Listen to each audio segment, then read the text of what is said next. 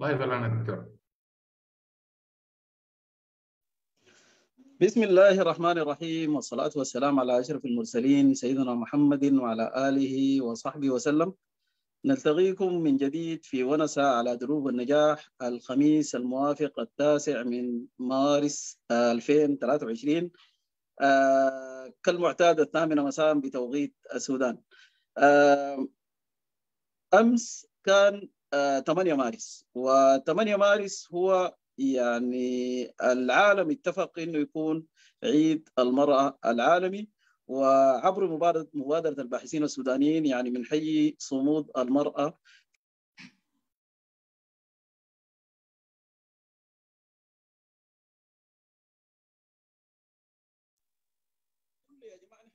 لكل الأديان السماوية. جميع الأديان السماوية احتفت بالمرأة. ولان المرأة هي الحياة ولولا المرأة لما لما كان الرجال يعني. فسيدنا عيسى عليه السلام آه والدته هي مريم البتول سيدنا موسى آه أمه وأخته هم يعني اتبعوه لمن أمه يعني ربنا وحلينا ترميه في في في البحر أو في النيل. بعد ذاك يعني سيدنا محمد صلى الله عليه وسلم أمه لما يعني هو اتولد ولدته امه والده كان متوفى. فيعني صلى الله عليه وسلم القرآن الكريم سورة كاملة عن النساء وذلك لعظمة النساء في في في حياة البشرية. فأنا صراحة يعني بستنكر بستنكر كل الجهود التي يعني الجهود المبذولة لثني الأنثى عن دورها الريادي في المجتمع. ومن هذا المقام من حي كل النساء السودانيات من ترهاغة الكنداكات إلى جيلنا هذا ونتمنى لهم التوفيق والسداد. ولولاهم لما كنا. الليلة بهذه المناسبة يا جماعة برضو بنستضيف أنثى أنثى رائعة جدا جدا الأستاذة إسراء الأمين وهي كاتبة ومؤسسة دار نشر. إن شاء الله بإذن الله حتكون دار نشر عملاقة جدا جدا لأنه أسست على على المعرفة وأسست على الكفاءة. إسراء برضو في نفس الوقت كاتبة وحايزة على جائزه طيب صالح للإبداع الروائي آه العام 2021 عن رواية الخروج من معطف جوجل وأيضا حائزه على المركز الثالث في جائزة طيب صالح للشباب في القصة القصيره العام الماضي 2022 وكذلك جائزة تقديرية محمد سعيد جائزة محمد سعيد ناود في القصة القصيره سنة 2021 وهي مسؤوله التوعية المجتمعية في اتحاد المرأة الأفريقية لجيت كون دو والليلة يا جماعة إن شاء الله بإذن الله حنستضيف أو نحن في ضيافة إسراء وحنغوص معها في هذا الإبداع المتجدد. إسراء تفضلي. آه مساء الخير عليكم. سعيدة جدا يا ياسين إنه أكون آه في ضيافتكم. آه في حقيقة مجهودكم مقدر جدا في بانه أنتم بتواظبوا على إنه أنتم تعرفوا الشباب أو الناس في المجتمع السوداني على على نشاطات مختلفة وعلى ناس بتحاول إنها تضع بصمتها أو إنها تعمل تغيير في في مناحي مختلفة. فربنا يوفقكم وإن شاء الله دايما نشوفكم متقدمين ومواصلين في في عملكم ده رغم مشغولياتكم ورغم رغم يعني الحاجات الكثيرة اللي بتاخذ الواحد في الحياة. لكن إنتوا دائما سباقين يعني. فأنا سعيدة جدا بإنه أنا أكون في ضيافتكم وإن شاء الله يا رب تكون أمسية خفيفة. الله يديك العافية. مرحبا بك كثير إسراء ونحن يعني أخذنا يعني حتدينا من وقتك وإنك أنت قبلت الدعوة. فيشرفنا جدا يعني نستضيف أنثى سودانية بهذا المقام. طيب يا إسراء نحن حنبدأ لك من ورا شديد يعني. دايرين نتعرف على إسراء النشأة والميلاد. آه طيب. أنا اتولدت في ولاية الجزيرة آه مدينة أبو عشر آه في ديسمبر آه 94 وهناك درست مراحل التعليم المبكر اللي هي الأساس والثانوي. بعدها أخذت بكالوريوس الأشعة التشخيصية من جامعة كرري. أخذت شوية كورسات في مجالي اللي هو في ال ultrasound في ال CT scan. بس أخذت فترة يعني كنت شغالة في مجالي وأخذت وقفة فترة اللي هو كنت متفرغة تماما للعمل الثقافي. نعم. كده قبل قبل ما نجي للمراحل دي كده أو قبل ما نصل للمجهود الثقافي عايزين نرجع ورا وتكلمينا عن المرحلة الابتدائية شوية يعني. طيب آه والله يمكن بس أكثر حاجة أنا بحس إنه آه كانت فارق بالنسبة لي في في مراحلي المبكرة إنه الوالد عليه رحمة الله كان حريص جدا إنه دائما إنه إحنا نكون على إطلاع. هو اللي كان بيشجعني صراحة على إنه أنا أقرأ. آه يعني بدأت بداية تقليدية لكثير من زي كثير من القراء إنه كنت بقرأ المغامرون الخمسة آه رجل المستحيل ملف المستقبل اللي هي روايات الجيب. اللي هو في كثير يعني في شريحة كبيرة من القراء بدأت بها يعني. فأنا كنت محظوظة إنه أنا بديت الحاجة دي في في عمر مبكر بالإضافة لأنه المجلات اللي هي كانت الرسومات المصورة يعني كنت دائما إنه أنا بكون يعني في حتى أثناء الدراسة بيكون في نهاية الأسبوع لازم أجيب كتاب جديد لازم لازم يكون عندي يعني وقت مخصص للدراسة غير الأكاديمية. فالحاجة دي يعني نشأت عليها وحبيتها وكنت دائما بشوف الوالد ربنا يرحمه إنه بيجي من ال بيكون شغال يعني طول النهار فبيجي بيكون مرهق جدا بعد ما يشرب كوباية الشاي بتاعته بتاعت العصر دي بيطلع كتاب من المكتبة بتاعته وبيكون بيقرأ أو بيكون بيقرأ في جريدة رغم إنه بيكون يعني منهك فالحاجة دي كانت دايما يعني كانت بتشدني إنه آه طيب هو هو تعبان يعني. الحاجة اللي بتخليه يعني كنت بترصد الحاجة دي بشغف إنه الحاجة اللي بتخليه إنه هو كان يقعد يقرأ شنو. فسبحان الله يعني لما لما بديت آه آه يعني تشكل عندي الوعي في عمر تسعة سنوات عشر سنوات بديت أقرأ الكتب اللي هو بيقراها. يعني ألاقيه بيقرأ في مقدمة ابن خلدون امشي اقرا مقدمة ابن خلدون على الرغم من إنه أنا ما فاهمة منها حاجة. بس عايزة أعرف هو بيقرأ في شنو. فالحاجة دي اتطورت اتطورت لحد ما لما دخلت الثانوي. بعدها بديت إنه لا أنا عايزة أكون توجهي الخاص يعني. بديت أفتش عن كتب تانية. بديت أفتش عن كتب تانية وبديت إنه أغير يعني أو يعني من الكتب اللي كنت بقراها اللي هي في اتجاه واحد بدأت إنه لا أتشعب في مجالات ثانية فليه هو الفضل ربنا يرحمه يعني له الفضل الأكبر في إنه حببني في القراءة من عمر مبكر و وكان بيتبسط يعني لما أنا أكون بقرأ. فالحاجه دي خلتني إنه أنا أقرأ أكثر نعم. طيب طيب يا يا اسراء ده, ده كلام جميل جدا جدا. في في المرحلة الابتدائية ال ال الاطلاع ده أضاف لك شنو اكاديميا؟ هو طبعا أنا بحس إنه مش أنا بحس يعني دي مقولة أنا قريتها زمان ما متذكر الكتاب اللي أنا قريتها فيه بس في مقولة بتقول إنه في واحد أعرابي مشى مشى للشيخ فقال له إنه أنا أنا بقرأ كثير بس ما يعني ما ما شايف إنه أنا استفدت من من القراية دي حاجة. ف فهو أداه تمر. أنا ما عارفه إذا الصوت واضح. الصوت واضح بس الصورة حصل لها فروزن كده. آه. ف ف فهو أداه تمر وقال له إنه طيب أكل التمر. فلما لما أكله قال له طيب أنت أنت لما أكلت التمر انت ما حتكبر فجأة. بس العملية دي هي عملية تراكمية. يعني انت كل ما كل ما تاكل حاجة الحاجة دي بتبنيك. فالقراءة هي نفس الشيء. يعني ما بيكون عندها مفعول السحر. يعني في ناس بتقول لك إنه أنا عايز كتاب يغير حياتي. ما في كتاب بيغير الحياة.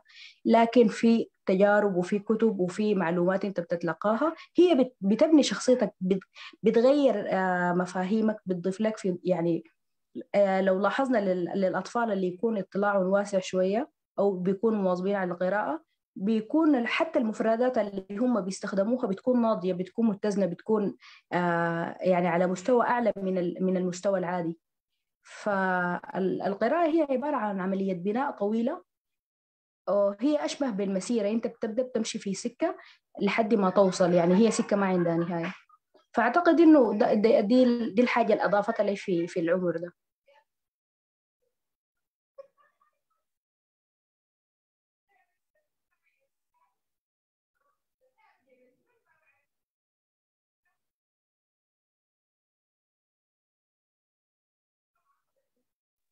كلام كلام جميل جدا جدا. المرحلة الابتدائية دايرينك بس تعيشينا كده في في جو المرحلة الابتدائية في ولاية الجزيرة وفي مدينة أبو عشر الجميلة يعني. طبعا إحنا على أيامنا كان عندنا كل أسبوع عندنا الحصة بتاعت المكتبة. فكنا بن... يعني ما عارفة تقريبا في السنوات الأخيرة العادة دي قلت في المدارس لكن إحنا على أيامنا كان في عندنا الحصة بتاعت المكتبة دي مجدوله في في في في جدول الحصص وكنا بنواظب عليها وبنتبادل الكتب ما بيناتنا. يعني بتلاقي مثلا في سلسلة المكتبة الخضراء الناس بتتبادل عليها رواية الجيب نفس الشيء القصص المصورة. فكان عندنا الطقس ده يعني دي حاجة كانت مهمة شديد وكانت مفيدة بالنسبة لنا. حتى اللي اللي معاه كتاب واحد بيقرأ عدد كبير من الكتب.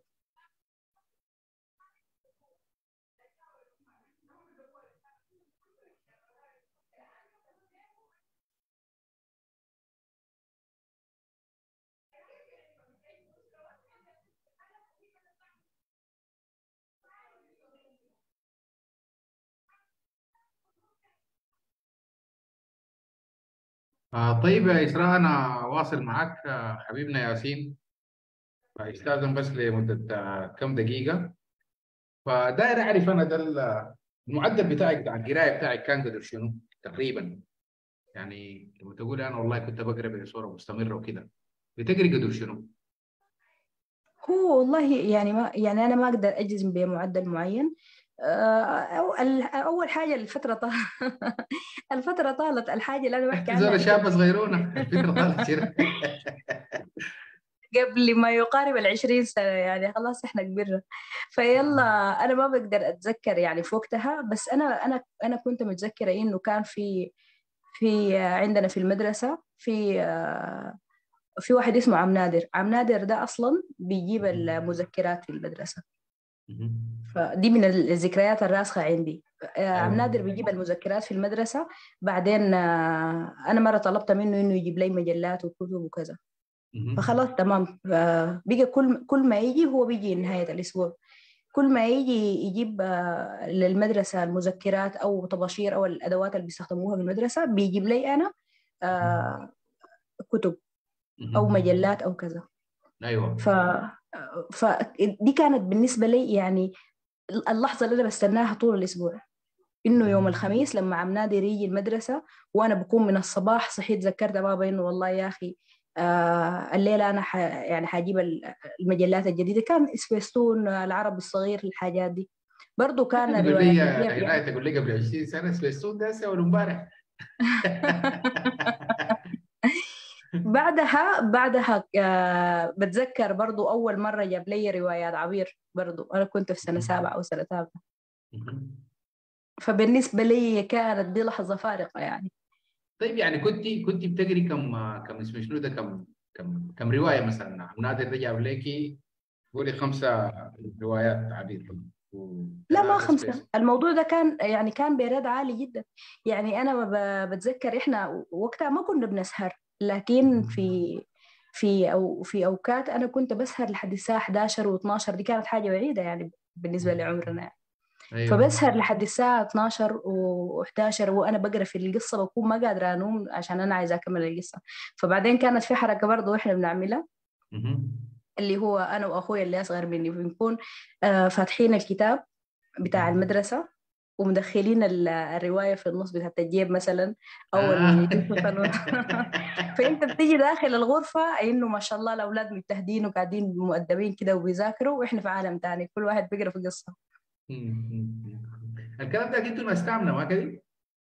آه.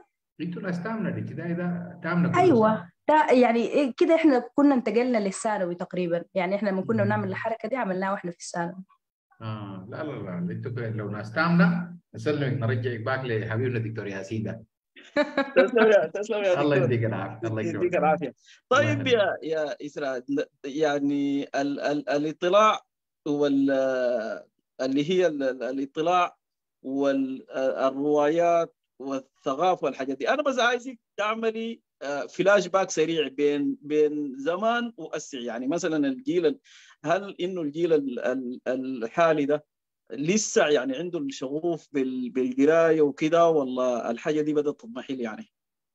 لا والله أنا دائما يعني ب- بتخذ وضعية المقاتل في في في دي لما الناس تقول إنه الناس بطلت تقرأ لا ما بطلت تقرأ أنا مم. أنا بايعت كتب وبشوف آه، يعني من يومين كانت عندنا واحدة من البنات طلبت كتب طلبت كتب هي وصاحبتها. كنا عاملين عرض بتاع توصيل مجاني وكذا فطلبت كتب هي وصاحبتها.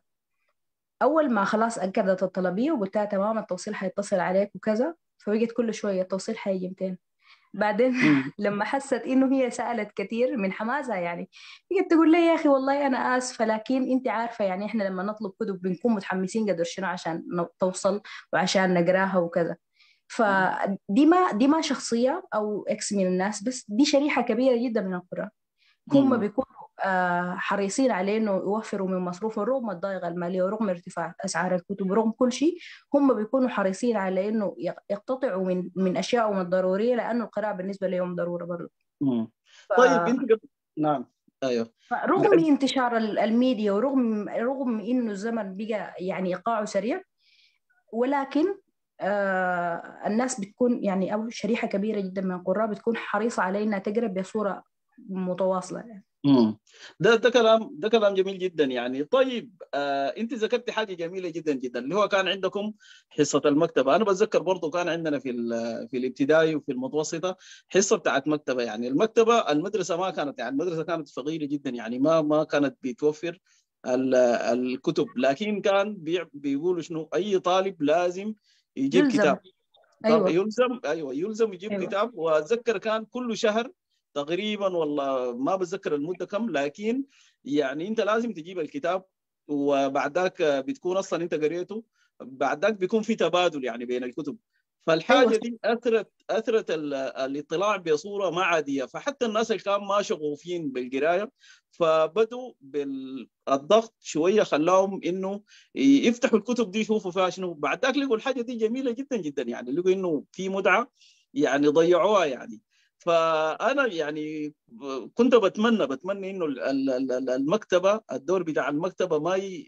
في المدرسة بالذات يعني ما يضمحل يعني مثلا في بريطانيا هنا بي- بيلزموا الطالب كل أسبوع يقرأ ثلاثة كتب.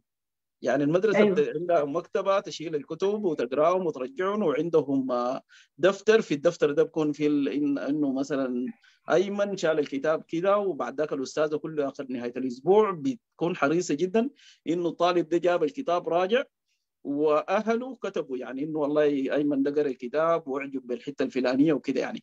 فالحاجة دي لقوا إنه الطلبة بعدين لما يمتحنوا ال GCSE اللي هي امتحانات ال- ال- ال- اللي هي زي عندنا امتحانات الشهاده السودانية لقوا إنه في يعني علامة فارغة جدا بين الطالب اللي بيكون بي- بيقرأ بي- يعني بيطلع على يعني ال- اللي هو بيقرأ الكتب.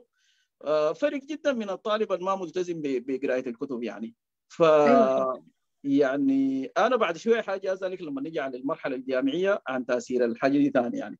طيب يا اسراء ال- الثانوي العالي ال- التوجه كان شنو؟ إنك أنت كنت عايزة تقري شنو وبعد ذاك ليه اختلف المسار لقدام يعني طيب هو المرحلة بتاعت الثانوي يعني أنا ب... يعني بعتبر إنه الفئة العمرية دي أنت أنت بتكون يعني أشبه بإنه أنت ضايع يعني أنت بتكون بتفتش على نفسك لسه أنت ما عارف أنت بتحب شنو لسه ما عارف يعني تفكيرك حتى ما تكون وعيك يدوب بيتشكل فبتكون بتفتش على حاجة آه على حاجة أنت يعني وجهة نظر أنت تتبناها. يعني في الحياة يعني بتكون بتفتش على قدوة بتفتش على يعني بحس إنه المرحلة الثانوية دي هي يعني هي مرحلة مهمة شديد في تكوين الشخصية. يعني على حسب الحاجة اللي أنت بتتلقاها حتنعكس على بناء شخصيتك بعدين. يعني مم. بصورة كبيرة أكتر أكتر من بقية المراحل يعني. فبالنسبة لي أنا كانت كانت يمكن زي كثير من الناس يعني إنه هي كانت مرحلة واسعة شديد يعني فضفاضه يعني حتى الاطلاع فيها ما كان منحصر في حاجة معينة. أنا كنت بقرأ كل شيء حرفيا. بديت أستكشف في عوالم يعني كنت بمشي آآ آآ يعني نادرا ما كنا بنمشي مكتبات كبيرة يعني. في كان عندنا مكتبة في في في المدينة عندنا في ابوشر كان عندنا مكتبة في يعني هي بعيدة مشوار. بس دائما الخيارات اللي فيها ما بتكون واسعة طبعا.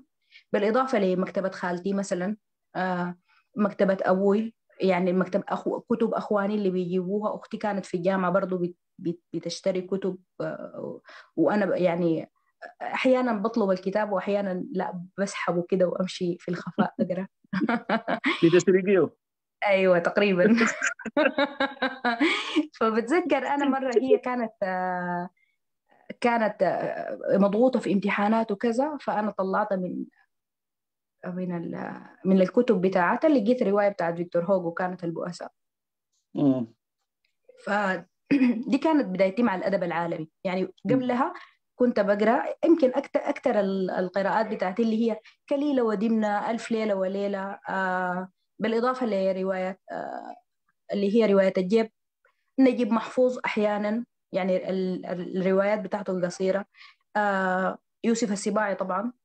آه قريت برضو أحلام مستغانمي في الفترة ديك. يعني كانت حاجة كده فضفاضة. يعني أنت ما تقدر تقول إنه آه بالإضافة لكتب دينية كثيرة شديد قريتها في الفترة دي. ف برضو كنت مهتمة بإنه يعني أنا كنت مغرمة بإنه في حاجة اسمها فلسفة عايزة أفهم يعني شنو فلسفة. فبتلاقيني بقرأ في كتب أنا ما فاهمة هي بتقول في شنو. وبال يعني بكون بقرأ فيها باجتهاد آه بعدين يعني بعد سنوات سنوات أجي أقرأ الكتاب مرة ثانية يعني مثلا أنا قريت موسم الهجرة للشمال في وأنا في الثانوي. آه المرة الأولى ما قدرت أكمل الرواية لأنه ما كنت فاهمة. حاولت تاني إنه أنا أقراها على أساس إنه دي رواية عظيمة. يعني أنا عارفة إنه الناس كلها بتقول كده. يعني دي خلفيتي إنه دي رواية عظيمة أنا المفروض أقراها. قريتها مرة ثانية وبالنسبة لي ما كنت قادرة أفهم. يعني بعد سنوات تاني رجعت قريتها و... وبالنسبة لي كانت مفهومة وكذا. فالمرحلة دي أنت بتكون عايز تعمل حاجات يعني أنت بتحس إنه أنت مرحلة الاستعجال للنضج الاستعجال للمعرفة الاستعجال يعني بحس إنه المرحلة المرحلة الثانوية الناس بتكون متلهفة لإنها توصل لأي ل... ل... لأواخر الأشياء يعني. كلام كلام جميل جدا جدا. ذكرتيني حاجة جميلة يعني. ف لما كنا في لما كنا في الثانوي العالي كان عندنا يعني في في الحلة هناك يعني في الجزيرة. فكان عندنا وجيراننا بيدرس في الجامعة يعني. فحتى سبحان الله كان بيدرس في الجامعة. ما في ما في زول في الحلة عارف إنه الشاب ده كان بيدرس في الجامعة يعني. مفتكرين إنه كان بيمشي بيشتغل في الخرطوم وكذا يعني. ففجاه كذا يوم زرته في بيته اكتشفت إنه عنده مكتبة ضخمة جدا جدا. فلقيت عنده كتب مثلا كتب سيد غط لقيت عنده كتب بتاعت كفاحي كتاب هتلر أيوة. لقيت عنده يعني حفظ من الكوليرا لقيت أيوة. يعني كتب بمختلف بمختلف التخصصات وبمختلف الأحجام وبمختلف ال ال الأدب ف فبقيت أنا بشيل كتب وفي كتب كده ما بشيلها. فبقول له أنت ليه ما ليه ما بتشيل الكتاب ده؟ فبقول له يا أخي الكتاب ده مثلا ده كتاب براي يعني. بقول له يا أخي الكتاب ده مثلا ده كتاب ال... ال... الأخوان المسلمين مثلا. يعني لما نقرأ بداية الكتاب أو في لنا كده بلقى إنه ده كتاب الأخوان المسلمين ده كتاب الجمهوريين ده كتاب شنو؟ فبقوم بخلي الكتاب فما بقراه يعني. بقوم بشيل الروايات بشيل. قال لي يا أخي اسمع أنت ما خسران حاجة. أنت بتحب القراءة شيل أقرأ. أي كتاب قال لي ما بضرك يعني حتى الكتاب ده لو انت مثلا ضد أفكاره بالعكس انت حتستفيد منه. فسبحان الله في الوقت ده اداني يعني فتح لي طريق ثاني إنك يا أخي أنت أي قدام كتاب أقرأه في النهاية ما بضرك يعني. تمام؟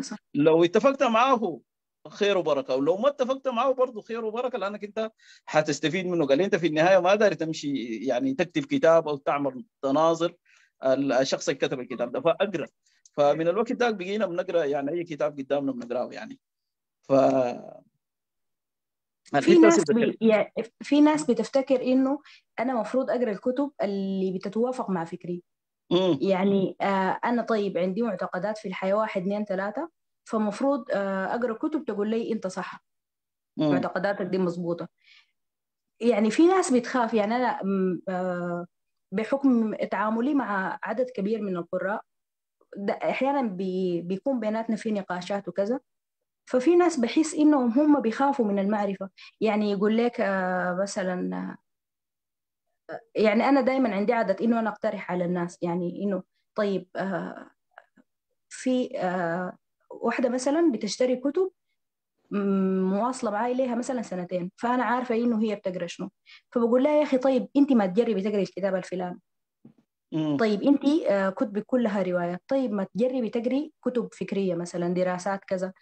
فبلاقي إنه في ناس بتقول لك أنا بخاف إنه والله الكتاب ده يأثر علي. يعني مثلا أنا لو قريت مثلا آه، كتاب آه، في يعني بيتكلم مثلا مثلا عن نشأة الكون بصورة علمية بعيدة عن الدين في حين إنه هم يعني الأشياء دي كلها أصلها واحد. لكن في ناس بيقول لك والله أنا أخاف إنه مثلا الحاجة دي تأثر على أفكاري. فأنا عشان أحمي أفكاري فخلاص أنا ما يعني ما ما ما بخلي نفسي في الحتة بتاعت إنه هل أنا مثلا الفكرة دي, دي صح أو غلط. في حين إنه إحنا أصلا سوى الدين سوى المعرفة سوى توجهنا في الحياة أفكارنا كلها نحن المفروض إنه إحنا نكونها بإقتناع مش بحفظ. صح ده ده ده ده كلام ده كلام جميل جدا جدا. طيب طيب يا اسر نرجع لك شوية لل للثانوي العالي وسنة ثالثة يعني زول بيكون مزنوق في الامتحانات وكذا يعني. فيعني كان ال- القرار كان شنو؟ أو تخش في أي كلية يعني؟ ومنو اللي اثر على القرار ده؟ آه طيب أنا بحس يعني ال- البيوت السودانية كلها متشابهة في الحتة دي. يعني وجهة نظر الأمهات والآباء كلهم إنه عايزين يعني عايزين أولادهم يطلعوا بكاركتر معين. إنه يدرسوا دراسة أك- أكاديمية. بمبدأ إنه والله يا أخي آه اللي معاه شهادة آه يعني بتكون كأنها حصانة له في المستقبل. فهم دايما عايزين إنه البنات بالذات إنه يا أخي يدرسوا مجالات طبية أو أو هندسية أو كذا على أساس إنه هم يكونوا مطمنين عليهم. طبعا دي حاجة متفهمة جدا. آه وك- وكل زمن وعنده يعني عنده أفكاره يعني. حاليا أيوة. نحن إحنا في العصر الحالي إنه والله يا أخي الناس عادي بتعمل كارير شيفت عادي. يعني بتكون درست مجال وبتشتغل في مجال تاني وبتنجح فيه بالعكس ممكن تبدع فيه أكتر. بس على زمان كان إنه اللي بيدرس آه، مجال بيواصل فيه وخلاص. فبالنسبة لي أنا كان أنا أنا طبعا كنت بحب الفيزياء شديد. من وأنا في سنة رابعة لما بدينا ندرس المجموعة الشمسية كنت كنت مغرمة بالحاجة دي. وكان نفسي إنه أنا يعني إنه أنا أدرس جامعة الخرطوم كلية علوم الفيزياء. يعني دي كان كانت بالنسبة لي حلم يعني. ف طبعا تأثير البيت إنه من أنت صغير عايز تطلع شنو يا أخي قول دكتور فبتلاقي إنه في ناس كثيرة دخلت مجالات طبية بس بال بالفكرة دي على الرغم من إنه والله أنا بحب الأشعة جدا ولما دخلتها دخلتها وأنا مبسوطة ولما لما درستها. وعرفتها أكتر حبيتها وفي الشغل كنت مبسوطة فيها آه لكن آه لو رجع الزمن وأنا كان عندي وعي أكبر ممكن كان حادرس آه مجال يعني مجال أدبي يعني بدل مجال علمي.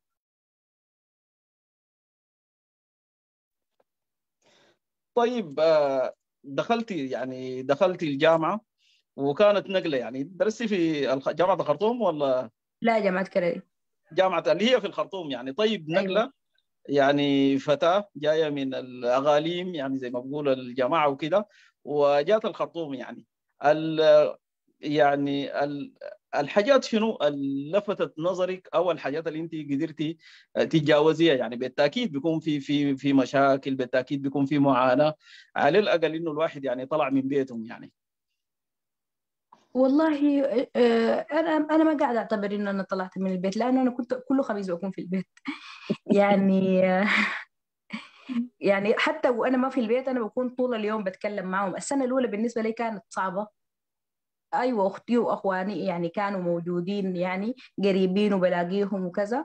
ولكن إنه بصحى الصباح ما بلقى أمي وأبوي. يعني بالنسبة لي كانت السنة الأولى كانت كانت صعبة شديد.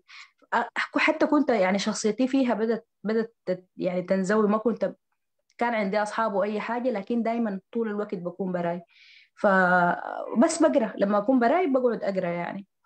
فبالنسبة لي عشان أتأقلم على الوضع ده كانت كانت يعني اخذت أخذت وقت. بس بعدها خلاص يعني اتعودت وبتدخل في الجو بتاع الاكاديميات لا والله أنا عايزة اجاول الدفعة. أنا عايز يعني أنت بكون عندك أهداف ممكن تخفف عنك يعني. وبرضه كان عندنا الأنشطة الثقافية. يعني أنا كنت من من من أنا في سنة أولى كنت يعني كنت مسجلة في الجمعية الثقافية وكان عندنا مناشط كثيرة وكذا. مم. إحنا طيب طبعا جامعتنا أكاديمية أكثر يعني. كانت جامعة أكاديمية بحتة. في نشاطات ثقافيه بس يعني طبعا بمستوى أقل يعني. مم. طيب بالنسبة لل... بالنسبة بالنسبة للنشاطات الثقافية بتشوفي إنها مؤثرة وين أكثر بتأثر في في العمر بتاع ال- المدارس اللي هي الابتدائية والمتوسطة والثانوي العالي ولا في ال... ولا بتكون مؤثرة للمتلقي بالذات يعني أو للطالب بالذات؟ بتأثر أكثر لما يكون في المرحلة الجامعية يعني. هو طبعا أنا بالنسبة لي بشوف إنه الحاجة دي كل ما كانت في عمر مبكر كل ما كل ما كانت أحسن. يعني ال- اللي بيقرأ من هو عمره أربعة أو خمسة سنوات ما حيكون زي اللي بيقرأ وهو يعني عمره عشرين سنة مثلا. لأنه أنت بتبني في شخصية في في حاجات معينة أنت لما تتعلمها في عمر مبكر بعدها خلاص انت يعني انت بتكون بدأت تنضج على بو على على على بدري يعني. ف ده ما معناها انه الناس لما يعني ما- لما لو ما بدأت من بدري ما تبدأ. لا هو انت في أي وقت بديت انك آه، تشتغل على نفسك تقرأ تطور من نفسك آه، دي حاجة كويسة طبعا وحتكون بالنسبة لك يعني حتكون بالنسبة لك حاجة كويسة شديد لكن كل ما كانت أبدر يعني بتكون دي مسؤولية على الآباء إنه والله يا أخي يغرسوا في أولادهم من بدري آه، حب التعلم. يعني في معارف ما بتدرس في المناهج خصوصا مثلا إحنا عندنا في السودان عندنا عيوب كبيرة شديد في المناهج الأكاديمية. يعني أنت بتمشي بتدرس في حاجات ممكن ما تفيدك ممكن ما يعني في حاجات أولى إنه أنت تعرفها خصوصا في يعني في العصر اللي إحنا عايشين فيه ده. فما تع- يعني الناس ما تعتمد على الدراسة الأكاديمية لا هي يعني التعليم الذاتي مهم. طيب طيب يا إسراء ال- اتخرجتي من الأشعة وبديتي تشتغلي أيوة. ال يعني الجو بتاع الشغل يعني يعني أقول لك شنو يعني يعني مثلا ال- ال- الجو بتاع الشغل لزول متخرج حديثا يعني أو قبليها لقيتي شغل كيف يعني طيب آه هو أنا أول ما تخرجت آه يعني بعد كم شهر على طول يعني أنا تخرجت في شهر في شهر 11 أو شهر 12 استلمنا الشهادات وكذا. آه يمكن على شهر ثلاثة أنا كنت نزلت في مستشفى الشعب ف يعني نزلت شغل على طول يعني. إحنا عندنا ميزة في الأشعة بالتحديد. عندنا فايض بتاع زمن. يعني أنت ملتزم بدوام إذا بتشتغل 8 ساعات نهارية أو إذا بتشتغل شيفت 24 ساعة. أغلبية ال- المستشفيات عدا الشعب طبعا لأنه الشعب شغل فيها كثير شديد. لكن أغلبية الأقسام اللي إحنا بنكون شغالين فيها بيكون عندك فايض بتاع زمن. بالنسبة لي أنا كنت بمشي قبل ما أجهز الشنطة بتاعت النبطشية بكون طلعت لي كم كتاب أنا شايلاهم معي. يعني آه، السنوات اللي أنا كنت ملتزمة فيها في شغلي بتاع الأشعة دي كانت فترات قريت فيها بمعدل عالي شديد. يعني حتى بكون قاعدة في في المكتب عندنا في في القسم بكون بكون خاطة كتب معاي يعني. في كتب أصلا بتكون قاعدة في المكتب ما بشيلها بكون بقرأ فيها في النبطشيات وكذا. فبالنسبة لي دي كانت حاجة جميلة شديد.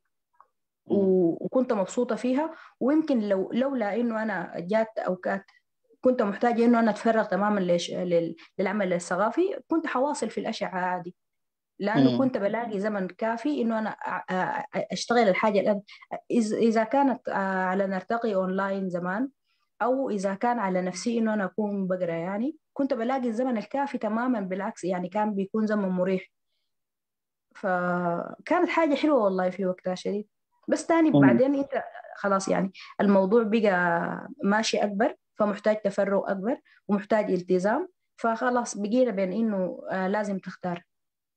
مم. طيب ال- ال- الشرارة شنو اللي خلتك تخلي الأشعة؟ والله أنا بتذكر آه، كنت شغالة في مستشفى نجيب. وبعدين آه، كنت بجهز لمعرض معرض نرتقي في قاعة الصداقة. وكنت يعني مجتهدة في الموضوع شديد يعني. ف يعني ما كان في حل غير إنه أنا أكون متفرغة تماما يعني أسبوعين على الأقل قبل ال قبل ال قبل ال- ال- ال- المعرض. فللأسف ما كان في ما ما كان في طريقة إنه أنا آخذ إجازة يعني الجدول ما بيسمح بإنه أنا آخذ إجازة. فخلاص بقيت بين خيار إنه والله ولا حواصل ولا أنا أوقف.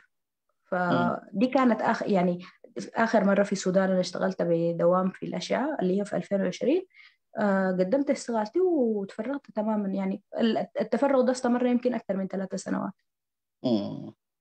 طيب والفكرة قبليها فكرة فكرة المعارض وفكرة نرتقي. يعني كانت آه، كانت يا دوب يعني بذرة ولا خلاص يعني بديتي من المرحلة الجامعية بديتي آه، يعني بدت البذرة بتاعت نرتقي. هي آه، نرتقي. بدت بعد ما أنا اتخرجت على طول. يعني مم. أنا بعد ما اتخرجت أخذت شهرين كده. بتذكر آه، كانت في أول شهر بعد التخرج أنت بتكون مضغوط في إنه أنت بتعمل في بحث التخرج والامتحانات ولازم تجيب degree كويسة عشان تتخرج بشهادة كويسة. ويعني ال- ال stress بتاع التخرج يعني. ففجأة أنا لقيت نفسي ما آه، يعني ما ما عندي حاجة بعملها. فبتذكر كنت قاعدة في البيت آه سبحان الله والله حتى حتى يعني بتذكر تفاصيل الشهر ده بالذات لأنه أنا قريت 18 كتاب في الشهر ده. يعني كنت يعني من من قمة النشاط في حاجات كثيرة فجأة وأنا ما بحب الفراغ. يعني بطبعي ما بحب إنه أنا أكون ما بعمل في حاجة. ف ف- فجأة لقيت نفسي ما عندي أي حاجة. فقريت 18 كتاب في شهر واحد وبالنسبة لي دي كانت يعني كانت أول مرة أعمل حاجة زي دي وما كان مخطط. ليها. يعني بس ب... لأنه أنا ما كان عندي حاجة تانية أعملها. فبعدها بديت أفكر طيب إنه أنا حأعمل شنو يعني؟ حأعمل شنو؟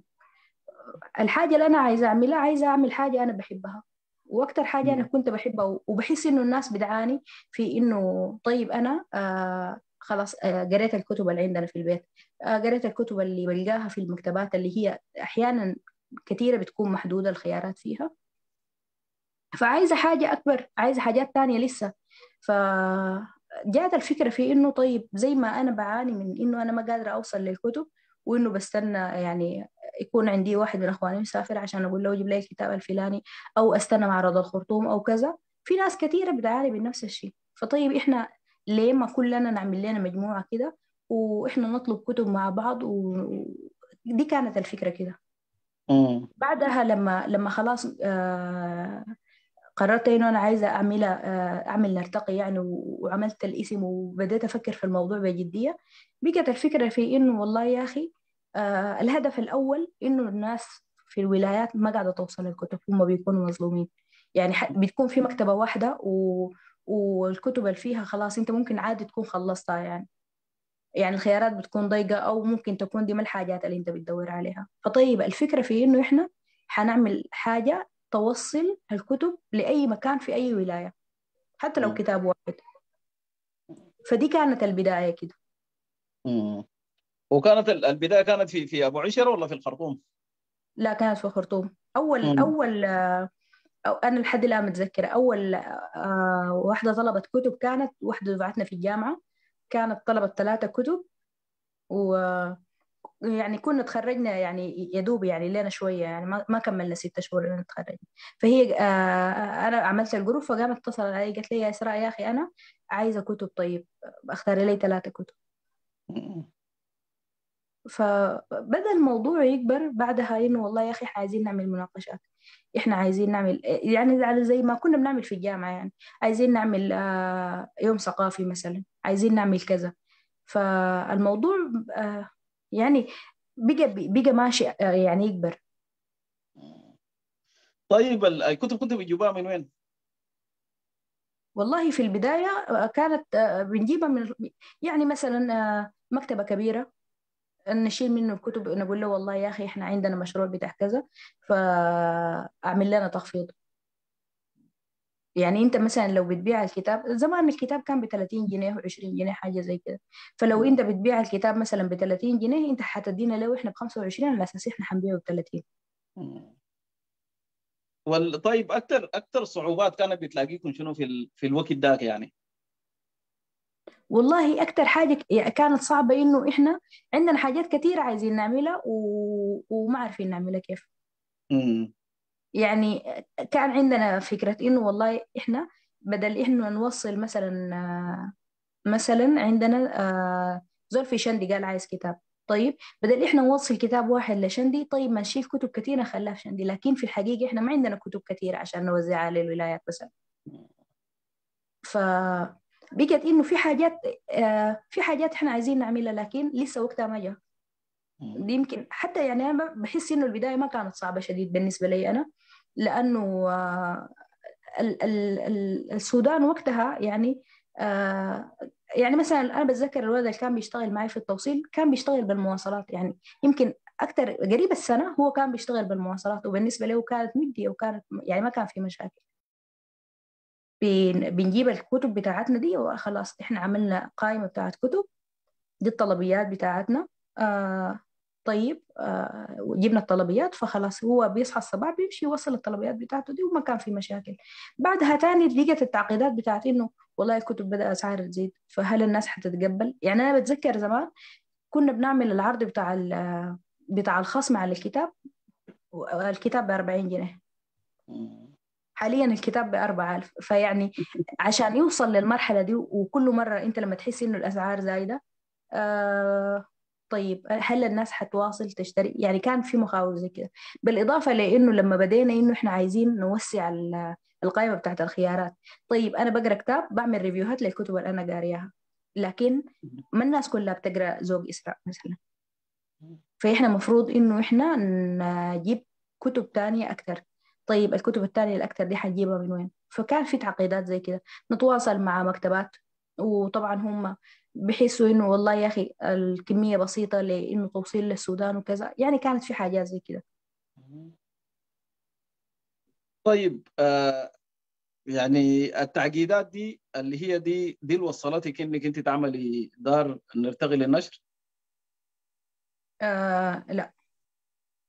بالنسبة للدار إنه أنا كانت الفكرة بتاعتي إنه آه أول حاجة آه طيب هو قبل ما تكون دار نشر إنه كان آه نحن عايزين عايزين حاجة خاصة بينا إحنا إحنا كل مرة بنمشي نعمل مثلا ايفنت مثلا في حتة معينة واحيانا بنلقى الحتة المعينة دي بصعوبة.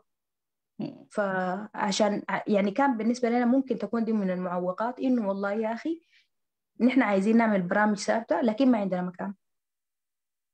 فبقت الفكرة في إنه والله يا أخي إحنا عايزين نعمل مكتبة. عايزين نعمل مكتبة في مقر حقنا نقدر نعمل فيه الأنشطة بتاعتنا بصورة دايمة من غير ما إنه إحنا نكون شايلين هم إنه حنعمل النشاط بتاعنا. بالنسبة للدار آه نتذكر كان آه في معرض الخرطوم 2018 تقريبا أو 2019 آه في المعرض. في 2018 أنا كنت أخذت الوكالة بتاعت دار دار نشر مصرية اسمها ببلوبانيا فلما لما لما تواصلت معاهم وهم أخذوا أدوني شحنوا لي الكتب وأخذت جناح في معرض الخرطوم باسم الدار وحتى أضفت عليها كتب تانية. ف بالنسبة لي كانت دي حاجة جميلة شديد إنه يا الله ديل عندهم دار نشر وعندهم كتب خاصة بهم وكذا. فبدأت تتشكل عندي فكرة إنه طيب أنا أعمل دار نشر خاصة بي يعني. ففي 2019 في المعرض يعني بعد سنة من من الحاجة دي آه كنا خلاص سجلنا دار نرتقي كدار نشر وكذا. وكان عندنا جناح خاص بينا باسم نرتقي. حتى حتى قبل ما نطبع أول كتاب كانت مكتبة في البداية أخذنا جناح في معرض الخرطوم. وخلاص أثناء المعرض بقينا نقول إنه والله يا أخي إحنا دار نشر وإحنا حنشتغل حنشتغل على الطباعة وكذا. فبدت بدوا الشباب إنه والله يا أخي طيب أنا عندي كتاب أنا عندي رواية أنا عندي ديوان شعر كذا. طيب يا جماعة نذكر الناس اللي انضموا لنا يعني التو. نحن الليلة يا جماعة في حضرة الكاتبة الروائية إسراء اللمين وإسراء هي يا جماعة يعني زولة خريجة يعني خريجة أشعة لكن غيرت عمل عملت كارير شيفت للطباعة والنشر. وبعد ذاك أسست في سنة 2020 مركز نرتغي الثقافي. وهي أيضا كاتبة يعني. نحن لسه ما تطرقنا عن الكتابه والحغوص يعني في في الحتة بتاعت الكتابة دي. ف إثراء طيب. بالنسبة لل خلاص يعني أنت بديتي يعني خلاص نسيتي حاجة اسمها اشعه ويعني قلعتي نمرك يعني زي ما بيقولوا من. من الاشعه وكده. خلاص بقيتي زوله بتاعت بتاعت دور نشر وكده يعني.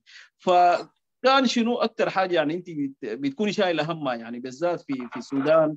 في مشاكل كثيرة جدا جدا يعني. ممكن تكون في مشاكل لوجستية وفي مشاكل يعني بتاعت يعني مشاكل مشاكل بتاعت مثلا قوانين ولوائح وكده يعني. فإنه زول لما يفكر يعمل له دار نشر دي يعني حيكون في مسؤوليات كبيرة جدا جدا. يعني مسؤوليات بتاعت إنه الجودة بتاعت هو حينشر شنو الجودة بتاعت إنه هو منو النوعية من الكتاب اللي هم حيجذبهم. بعد ذاك الحاجات اللوجستية الطباعة التوزيع الحاجات دي يعني ده شغل ضخم جدا جدا يعني. فالبداية كانت كيف مع في في خضم الزوابع دي كلها يعني. طيب آه هو زي أي حاجة أنت عايز تبدأها في بيكون فيها يعني أنت بتكون آه عندك تصور معين للفكرة بتاعتك لكن دائما التصور ده بيكون هو غير حقيقي. يعني أنت عايز تطبع كتاب فبتفتكر إنه والله أنا عشان أطبع الكتاب ده خلاص أنا حاشيل الكتاب من الكاتب وحأمشي أرسل للمطبعه وبعد يومين حستلم الكتاب. فبتيجي تقول تشيل الكتاب بتقول لا يعني أنا مف... أنا اللي حأشتغل يعني أنا اللي حأشوف حد يشتغل المراجعه اللغوية أنا اللي حأمشي أطلع رقم الإيداع أنا اللي ح... حأكون مشرف على التصميم بتاع الغلاف لحد ما ينتهي. يعني بت... يعني كل حاجة بتجي في الكتاب ده هي حتكون مسؤولية بالنسبة لك. يعني أبي يعني آه في التدشين بتاع ال بتاع ال بتاع الكتاب. الناس ما بتعاين للكاتب بتعاين للناشر يعني على أساس إنه يا أخي آه طيب أنت المفروض إنه أنت تطلع حاجة بمستوى آه يعني كويس. فبقت الخوف من المسؤولية. أنا آه في 2019 سجلت دار دار نرتقي. في بداية 2020 يعني على الأيام دي بالضبط يعني على على بداية شهر ثلاثة إحنا كنا عملنا التدشين خلاص الكتاب وصل بعد تعقيدات الشحن طبعا من مصر و, و... إحساس إنه إحنا أول مرة جايبين كتاب حقنا نحن ما ما كتاب إحنا مشترينه يعني. ف يعني بالحماس اللي في الدنيا كلها أنا بتذكر إنه الكتاب وصل وصل السودان على على المغرب كده. فأنا كنت حريصة إنه في وقتها أنا لازم أمشي أستلم الكتاب ده أسي عشان أنا أطمن على الطبعة عاملة كيف وأشوفه. وأنا شفته صور عايزة أمسكه بيدي واطمن وكده ف فالموضوع كان يعني خلاص أنت جاي بأحلام وبتصور وبكذا. بعد شوية خلاص بديت تحس بالمسؤولية وبديت تخاف إنه والله يا أخي طيب لو الحاجة دي ما زبطت أنا حأعمل شنو ففي السنة الأولى يعني اللي هي في 2020 آه يمكن على آخر السنة حتى طبعا العد... الكتاب الثاني الإصدار الثاني. على آخر السنة. يعني أنا أخذت سنة كاملة أو يمكن حكاية بتاعت تسعة شهور عشان أنا طبعت الكتاب الثاني. في الفترة دي كنت بفتش على على مصممين أغلف على أساس إنه أنا ألقى ألقى خيارات كويسة وألقى حاجة تمشي مع تصوري للدار مثلا.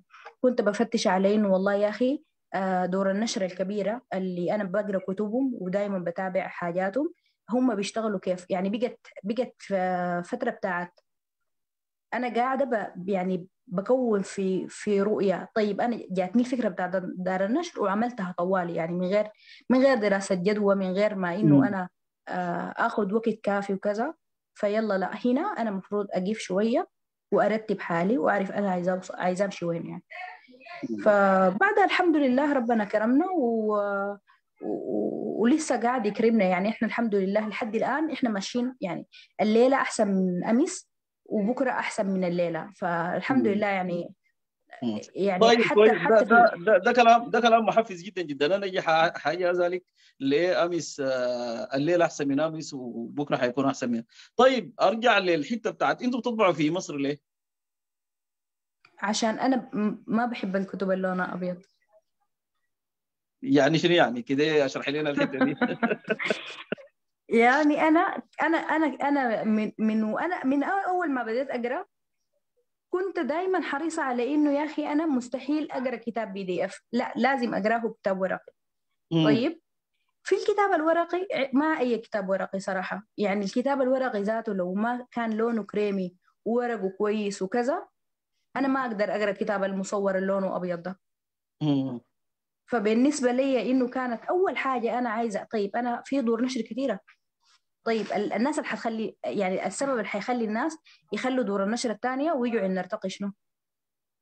ما خلاص إحنا جايين يعني يا دوبك كده ما في زول بيعرفنا.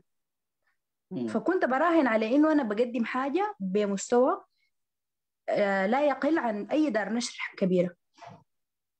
ده كان رهاني الأول يعني. فكنت حريصة على الحاجة دي. إنه والله يا أخي حتى لو ال- الطبعات الأولى من الكتب كان فيها حاجات مشاكل مثلا أو كذا حاجات إحنا ما كنا عارفين إنه أصلا إنه المفروض ننتبه عليها. لا طيب إحنا حنقوم نس- نستخدم الحاجة دي كحاجة إحنا بنتعلم منها على أساس. إنه الليلة بكرة إحنا أحسن من الليلة. طيب نجي في نجي ال- ال- ال- الحته مهمة جدا جدا. آه، صناعة الكتاب. يعني أنا ما بتكلم عن الجانب بتاع ال- الكتاب وكده يعني. بتكلم عن ال- الصناعة بتاعت الكتاب ذاته يعني. الكتاب ده لما خلاص يجي الكاتب آه، خلاص يدوا له دار نرتقي ونار دار نرتقي بتبدأ بعد البروسيس أو بتبدأ الإجراءات بتاعت إنها تطبع الكتاب يعني. ال- الحاجة دي لانها فيها فيها تدقيق لغوي وفيها زي ما أنت قلتي قبل شوية التصميم بتاع الغلاف بعد ذاك التصميم بتاع الكتاب ذاته. بعد ذاك بتمشي لل- للطباعة الحاجة دي وسط ال- الإجراءات في السودان بتتم كيف يعني؟ طيب آه نحن في البداية كان عندنا مشكلة برضو يعني من المشاكل اللي هو كان الخوف من إنه الكتاب يطلع بصورة غير اللي إحنا كنا خاتينها في تخيلنا. فأنا كنت يعني يمكن لعدد من الطبعات ال- من الإصدارات ال- الأولى كنت دائما آه يعني يعني حاجة حتى الحاجة دي كانت بتعمل لي مشكلة مع مع المطابع إنه والله يا أخي أنا ما حأطبع الكتاب. ما لم تديني سامبل طبعة واحدة أو اثنين آه، أنا أستلمه وأشوفه. يلا دي حتجي من ال من ال من القاهرة للخرطوم. وإحنا زمان ما كنا بنعرف شركات الشحن السريع وكذا يعني يعني كنا يدوب في البدايات يعني. ف طيب أنا عايزة أشوف الكتاب أول عشان أنا آه، أكون مطمئنة إنه ال 500 نسخة اللي أنا حاطباها دي ما حيكون فيها مشكلة. فدايما بتحس إنه يا أخي ليه ما- لا إحنا ما أنتوا شفتوا كتبنا اللي إحنا طابعينها؟ لا أنا ده كتابي أنا بر... فكانت في حتة زي دي إنه والله يا أخي أنا عايزة أضمن إنه الكتاب ده حيطلع بالتصور اللي أنا عايزاه. ولا حنشتغل كده ولا ما حنشتغل؟ لأنه الكتاب مش بس الليلة خلاص إحنا خلصنا من المراجعة وخلصنا من استخراج الترقيم وخلصنا من التصميم وكل شيء ده ده ما معناها إنه إحنا خلصنا. لا لسه. أنا بالنسبة لي التكفيل بتاع الكتاب أهم أهم نقطة. يعني عشان أنا أطلع كتاب آه، ما بيفك. مثلا كتاب آه، طبعته جيدة. كتاب آه، تقدر إنه انت يعني تقدمه وإنت فخور بإنه أنا والله اشتغلت الكتاب ده. لازم التكفيل بتاعه يكون كويس. لازم الصمغ اللي بيتقفل به يكون لون لون ال- الورق عشان ما يكون في حاجة غريبة في النص. لازم القص بتاع الغلاف يكون مقصوص كويس عشان ما يكون في زوايد في الغلاف مثلا فدي كلها تفاصيل كثيرة شديد ومرهقة ولكن يعني هي مهمة جدا طبعا. وثاني سؤال ليه أنتم بتعملوا ال- الحاجات الطباعة في القاهرة أو في مصر يعني؟ لأنه الحاجة دي ما يعني صعبة في السودان نوعية مم. الورق اللي إحنا بنشتغل عليه ده آه، في السودان ما متوفر. حتى لو انت يعني فكرت في انه أنا استورد ال- الورق ده لا انت بتحتاج ماكينات معينة عشان انت تشتغل عليه. ده غير انه التكلفة في السودان عالية شديد. يعني حتى لو انت وفرت الكتب وفرت الورق وجيت عايز تشتغل عليها في السودان يعني مثلا ممكن إحنا نقول إن شاء الله يعني في المستقبل و... وإن شاء الله ربنا يجعله في المستقبل القريب إنه إحنا نعمل مطبع حقتنا في السودان. فلو عملنا المطبعة حقتنا في السودان حنكون جبنا ال الورق استوردنا الورق وجبنا الماكينات اللي إحنا بنشتغل عليها دي اللي هي الطابعات المعينة دي اللي هي طابعات كثيرة يعني الكتاب ده عشان يطلع في في أكثر من طابعة بتشتغل يعني. الورق براه الغلاف براه القص براه كل شيء يعني في تفاصيل كثيرة ف وجبت يعني ناس بتشتغل القص بتاعها الماهرين يعني يدويا ماهرين في إنه يطلعوا لك الحاجة دي بالصورة المرضية اللي أنت بالنسبة لك بتكون كويسة. عشان كده إحنا بنمشي القاهرة وحاليا إحنا في نرتقي وقفنا يعني يمكن مش وقفنا لكن بقى عندنا توجه تاني في انه إحنا بنطبع في إيران برضو. أكثر من إنه إحنا معتمدين على القاهرة. عشان برضو ال quality يعني إحنا دائما مؤرقين بانه إحنا نطلع أحسن حاجة بنقدر عليها. وين ما كانت يعني هسه أنا حاطبع في إيران بالرغم من إنها يعني من السودان يعني تعتبر بعيدة ما زي مصر. لكن أنا بالنسبة لي أنا أراهن على ال quality طبعا.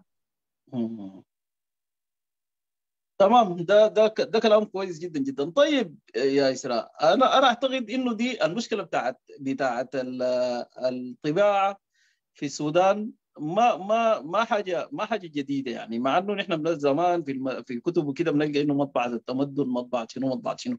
لكن بتذكر لما كنت طالب طالب في سوريا في الفترة الجامعية كان الناس برضه بيجوا بيطبعوا من ال... بيطبعوا في في سوريا يعني. مثلا حتى ال... ال... اللي هي الكروت بتاعت ال... اللي هي ال business card الكروت أيوة. بتاعت ال... ال... كروت الإهداء يعني زمان ديك حتى. كروت أيوه. أيوه وكروت الإهداء يعني كل شيء كل شيء يعني. حتى البوسترات العادية دي ان إحنا هنا ممكن نطبعها في أقرب مطبعة هنا أو أقرب محل بتاع بتاع طباعة دي برضه بيجي بيطبعوها في سوريا يعني وكانت تكاليف بتاعت الشحن وتكاليف يعني كثيرة جدا جدا.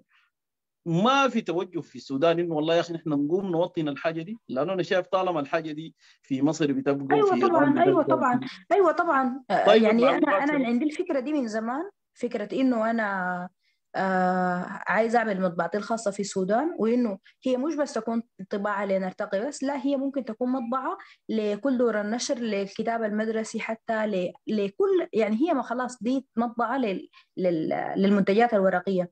فهي ممكن يعني حتى تشتغل للجامعات عرفتها؟ بس كمان آه أنا دايما ما بحب يعني بحب إنه أنا أمشي بخطة مرتبة. يعني مثلا السنة في الخطة بتاعتي إنه والله يا أخي آه بعد التوسعة بتاعت المعارض الدولية المشاركة في المعارض الدولية الخطة بتاعتي إنه أنا سيس يعني بعمل في اجراءات تسجيل آه نرتقي أو يعني فرع أو دار نشر ثاني في في الإمارات تابعه لهيئة الشارقة. ف يلا الخطوة الثالثة حتكون شنو؟ يعني عرفتها دائما بحب إنه أنا أكون بدرس في خطواتي. يعني مثلا بإذن الله يعني اخذت في اخذت في بالي إنه أنا حأعمل مطبعة. بس يعني كمان ما عايزة أعملها على استعجال علشان لما أعملها أعملها ب أعملها بروفيشنال زي ما أنا عايزة. طيب ده ده كلام ده كلام كويس جدا جدا. طبعا الحديث جميل جدا جدا. والحديث وسجون وجبتينا من أبو عشر لجامعة كرري وبعدين جبتينا للجو بتاع المعارض وكده يعني. فدار تقول لك لحتة ثانية. الحتة بتاعت الكتابة. إسراء عندها يعني يمكن أكثر من كتاب على حسب ما على حسب معلوماتي وعندها ثاني قصاصات صغيرة صغيرة. الحاجة دي بدت 200 وكيف يعني؟ طيب هو أنا من أنا ما عارفة ما عارفة من 200 لكن أنا من من أيام الجامعة كنت بكتب خواطر بكتب حاجات يعني. ف ولا كنت بوريها لزول ولا أي حاجة. يعني أنا ب... بنكون قاعدين أنا و... أنا وصحباتي فبطلع دفتري وقلمي وبقعد أكتب. فأحيانا انت بتكتبي في شنو؟ انت بتاع عايز ورينا بتاع كده.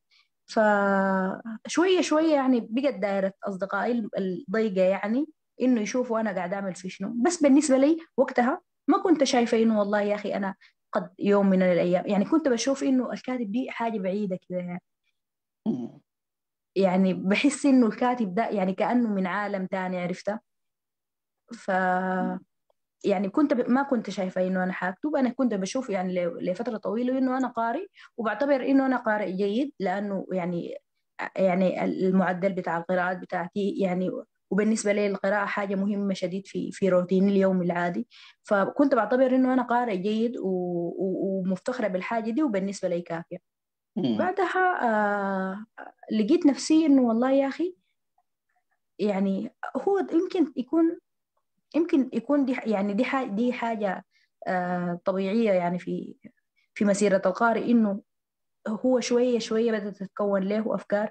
طيب أنا لما أقرأ كتاب معين آه بتجي لحظة إنه أنا بفكر مش بفكر في الكتاب بفكر في إنه وقتها الكاتب كان بيفكر في شنو لما كتب الكتاب مثلا. فالحاجة دي بتخليك إنه أنت تلقى نفسك أنت ذاتك بديت تكتب.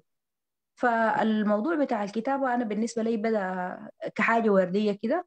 بعدها لما خلاص مشيت فيه بقيت بحس إنه هو مسؤولية وهو التزام.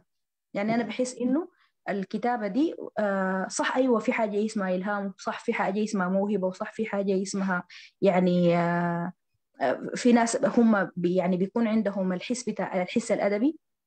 بتاع الكتابة ولكن أنا بالنسبة لي الأهم من ده كله الالتزام تجاه الكتابة. يعني بحس إنه هي كأنها حرفة أنت مفروض إنه تشتغل عليها عشان تجودها وعشان تطورها يعني زي ما نجار مثلا جاء اليوم الأول عمل له قطعة بتاعت خشب نحتها بطريقة معينة. تاني يوم لما يجي يتدرب عليه ولما يكون هو مواظب على الحاجة دي حيطلع حاجة جيدة في الآخر. فالكتابة هي نفس الشيء هي أشبه بالحرفة ومحتاجة التزام ومحتاجة مسؤولية يعني إحنا نتعامل معها نديها حقها مش نقعد نستنى كده والله يا أخي أنا الليلة ما جاني إلهام ما حاكتب طيب هو أصلا يعني زول تخيل لي ما بعرف أنا غادي عن تجربتي الخاصة يعني. ال الواحد عشان يكتب لازم لازم يقرأ كثير عشان أيوة. يقدر يعني يجود الحاجة الثانية لو ما في زول قرأ لك انت ما حتعرف نفسك يعني كتابتك دي يعني قدر شنو يعني مهمة أو قدر شنو شيقة أو قدر شنو يعني ممكن تلفت الانتباه يعني؟ أيوه صح. أيوه صح. عشان كده أنا دايما. بقول إنه كل حد في الدنيا من حقه إنه يبرز فنه ده ايا كان يعني ايا كان ايا كان المنحى بتاعه. كل حد من حقه إنه يطلع كتاب يطلع الحاجة اللي هو اللي هو يعني بيشتغلها يعني. فزي ما أنا عندي ذوق معين في القراية بيتوافق مع ناس كثيرين ما بيتوافق مع ناس أكثر. أنت برضو حتلاقي القارئ بتاعك. بس كمان بتبقى المفارقة وين؟ بإنه أنت لازم تتعامل مع الموضوع ده بمسؤولية. بحس إنه أنا دايما بشوف الشباب اللي بيكون عندهم خاصة في العمل الأول الحماس بتاع إنه أنا عايز أطبع كتاب. عشان أديه لأصحابي ونتصور مع الكتاب وبتاع وأنا خلاص الليلة بقيت كاتب وكده. دي حاجة جميلة شديد لكن أنا عشان أوصل للحاجة دي لازم آخذ الموضوع ده بمسؤولية إنه طيب أنا خلصت من من الكتاب المفروض إنه مش طوالي خلاص أمشي أديه للناشر. لا لا أنا مفروض أشتغل عليه وأشوف رأي الناس فيه يعني الناس اللي أنا بثق فيهم اللي هم حي... حي... حيدوني نصائح اللي هي نقد بناء إنه والله يا أخي أنت مثلا بتكتب باستعجال خفف ال... السرعة بتاعت الكتابة بتاعتك شوية. طيب أنت انتبه للجوانب بتاعت بناء الشخصية مثلا. التفاصيل دي وكل ما كانوا من أهل الاختصاص يكون أفضل يعني. ف زي ما ذكرت لك هي مسؤولية وإحنا محتاجين إنه نتعامل معاها بالجدية الكافية والالتزام الكافي عشان الواحد مثلا خلال سنوات معينة يكون عنده إنتاج غزير. يعني ما نقع في الفخ بتاع إنه والله الواحد كتب الكتاب وخلاص يعني حماسه قل أو ما واصل. لأنه الكتابة دي ما ما مشروع كتاب واحد أو كتابين لا هو مشروع بتاع عمر. طيب ده ده كلام ده كلام جميل جدا جدا. طيب يا إسراء أنا في الفترة الفترة الأخيرة دي الآخر يعني ممكن نقول 15 سنة الأخيرة دي يعني ظهروا كتاب كثيرين جدا في السودان يعني ومعظم الكتابات أو كل الكتابات اللي أنا اطلعت عليها أنا شايفها كتابات جميلة جدا جدا يعني. ف يعني الحاجة دي هل إنه سبب الضايقه مر بها السودان.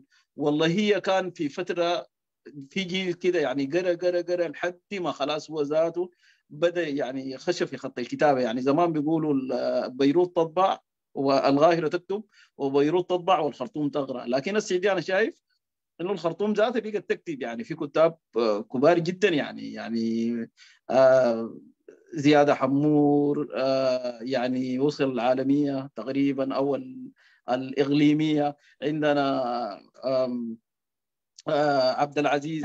ساكن عندنا أيوه يعني بس عشان أنا ما داير عشان أظلم واحد يعني عماد براكه يعني في كتب في ناس كتار جدا يعني بدوا يعني الكتابات بتاعتهم جميلة جدا جدا يعني.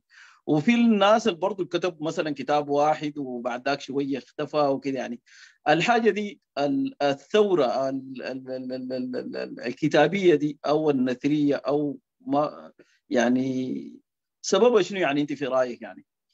طيب أنا يمكن آه، بشوف إنه يعني منو مننا ما عنده في في العائلة بتاعته عمه أو خاله عارف إنه هو والله أنا خالي ده بيكتب شعر مثلا أو عمي ده بيكتب أو كذا. لكن للأسف ما عندنا لهم حاجة مطبوعة. يعني أنا بح... يعني أنا في مجتمعي أنا اللي أنا عشته في مثلا في الجزيرة أنا عندي أعمامي اثنين بيكتبوا. و... آه، وأبوي كان بيقرأ وخالي برضو آه، مثلا بي... بيعزف على العود مثلا عرفتها لكن هم كانوا في في فترة ما عندهم الأدوات. مم. يعني الموهبة موجودة بس ما في أدوات. فبحس إنه إحنا إحنا في في الفترة ال- ال- في في العصر اللي إحنا عايشين فيه ده في وسائل كثيرة خدمتنا. يعني حاليا أي زول آه، في الجامعة عنده كتاب بيقدر يمشي يطبعه. زمان ما في كده. حتى حتى زمان إنه الواحد عشان يمشي يعني ياخذ الخطوة بتاعت إنه أنا عايز أنشر كتاب بالنسبة له دي بتكون أشبه بإنه عايز يغير حياته. حاليا الموضوع بقى أسهل. فأنا بحس إنه والله إحنا في السودان بالذات يعني في السودان بالذات نحن من زمان عندنا الناس اللي بتكتب. لكن ما عندنا الناس اللي بتنشر. فأسي إحنا الناس بدأت تاخذ خطوات جدية في إنه تتعامل مع الموضوع بإنه والله يا أخي أنا أنا حانشر كتاب أنا حاطبع كتاب. حتى بنلاقي إنه آه في أعمار صغيرة شديد. يعني في ناس بتنشر كتب في أعمار صغيرة شديد مقارنة يعني بزمان. ف... فدي حاجة كويسة. وطبعا أنا بحس إنه برضو الكورونا مثلا والفترة بتاعت الثورة وكذا هي غيرت في الأدب نفسه غيرت في مم. الأفكار اللي المطروحة. غيرت في يعني الناس بقت بت- بتبرز حاجات مختلفة في المجتمع زمان ما كان بيتكلم عنها. دي من دي خلت إنه مثلا إنتاج يمكن يكون زايد أكتر. لكن الأدوات المتاحة حاليا هي اللي خلت عملية النشر أسهل. مم. في السودان بالتحديد. طيب ال ال الكثره بتاعت ال بتاعت الكتاب والكثره بتاعت مثلا إن صح التعبير بتاعت دور النشر هل دي ممكن تأثر على على الجودة بتاعت الحاجات ال ال ال ال ال الإنتاج مثلا؟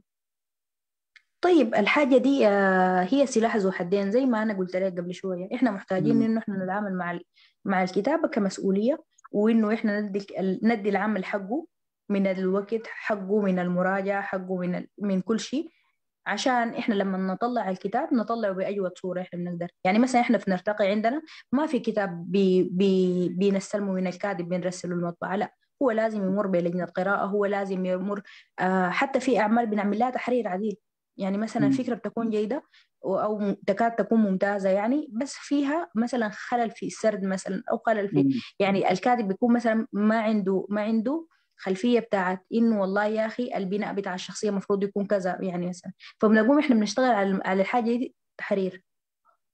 طيب على أساس إنه إحنا نطلع منها أجود حاجة. فدي مسؤولية زي ما هي مسؤولية على الكاتب هي مسؤولية على الناشر. عشان أنا ما يجي كتاب يجيني أنا حاطبعه وخلاص. طيب آه ال ال المعارض. يعني نحن هسه بنشوف آه، نرتغي عندها مثلا في جناح المعرض القاهري للكتاب هسه في ال- في أبو ظبي ولا أو دبي ومعرض الخرطوم. يعني الحاجات دي آه، بتفيد بتفيد قدر شنو يعني؟ بتفيد طبعا آه، بتفيد انتشار انتشار للكاتب وللناشر على حد سواء. يعني إحنا محتاجين في السودان برضو يعني إحنا محتاجين إنه إحنا نشتغل على إنه إحنا نسوق لنفسنا. محتاجين إنه إحنا نشيل كتبنا دي نمشي نترجمها. عشان آه، الطيب صالح لو ما كانت كتب ترجمت ما كان حي يعني يعني ما كان حيوصل لنفس المستوى. إحنا عندنا كتابات كويسة محتاجين إنه إحنا نوصلها. فالمعارض بتساعد في الحاجة دي بصورة كبيرة. الاجتهاد في موضوع الترجمة بيساعد. آه ال ال أنا دايما ب- بكون حريصة على إنه إحنا نقاط التوزيع بتاعتنا تكون واسعة على أساس إنه القارئ ال- القارئ ده في أي مكان يلقى الكتاب. مم.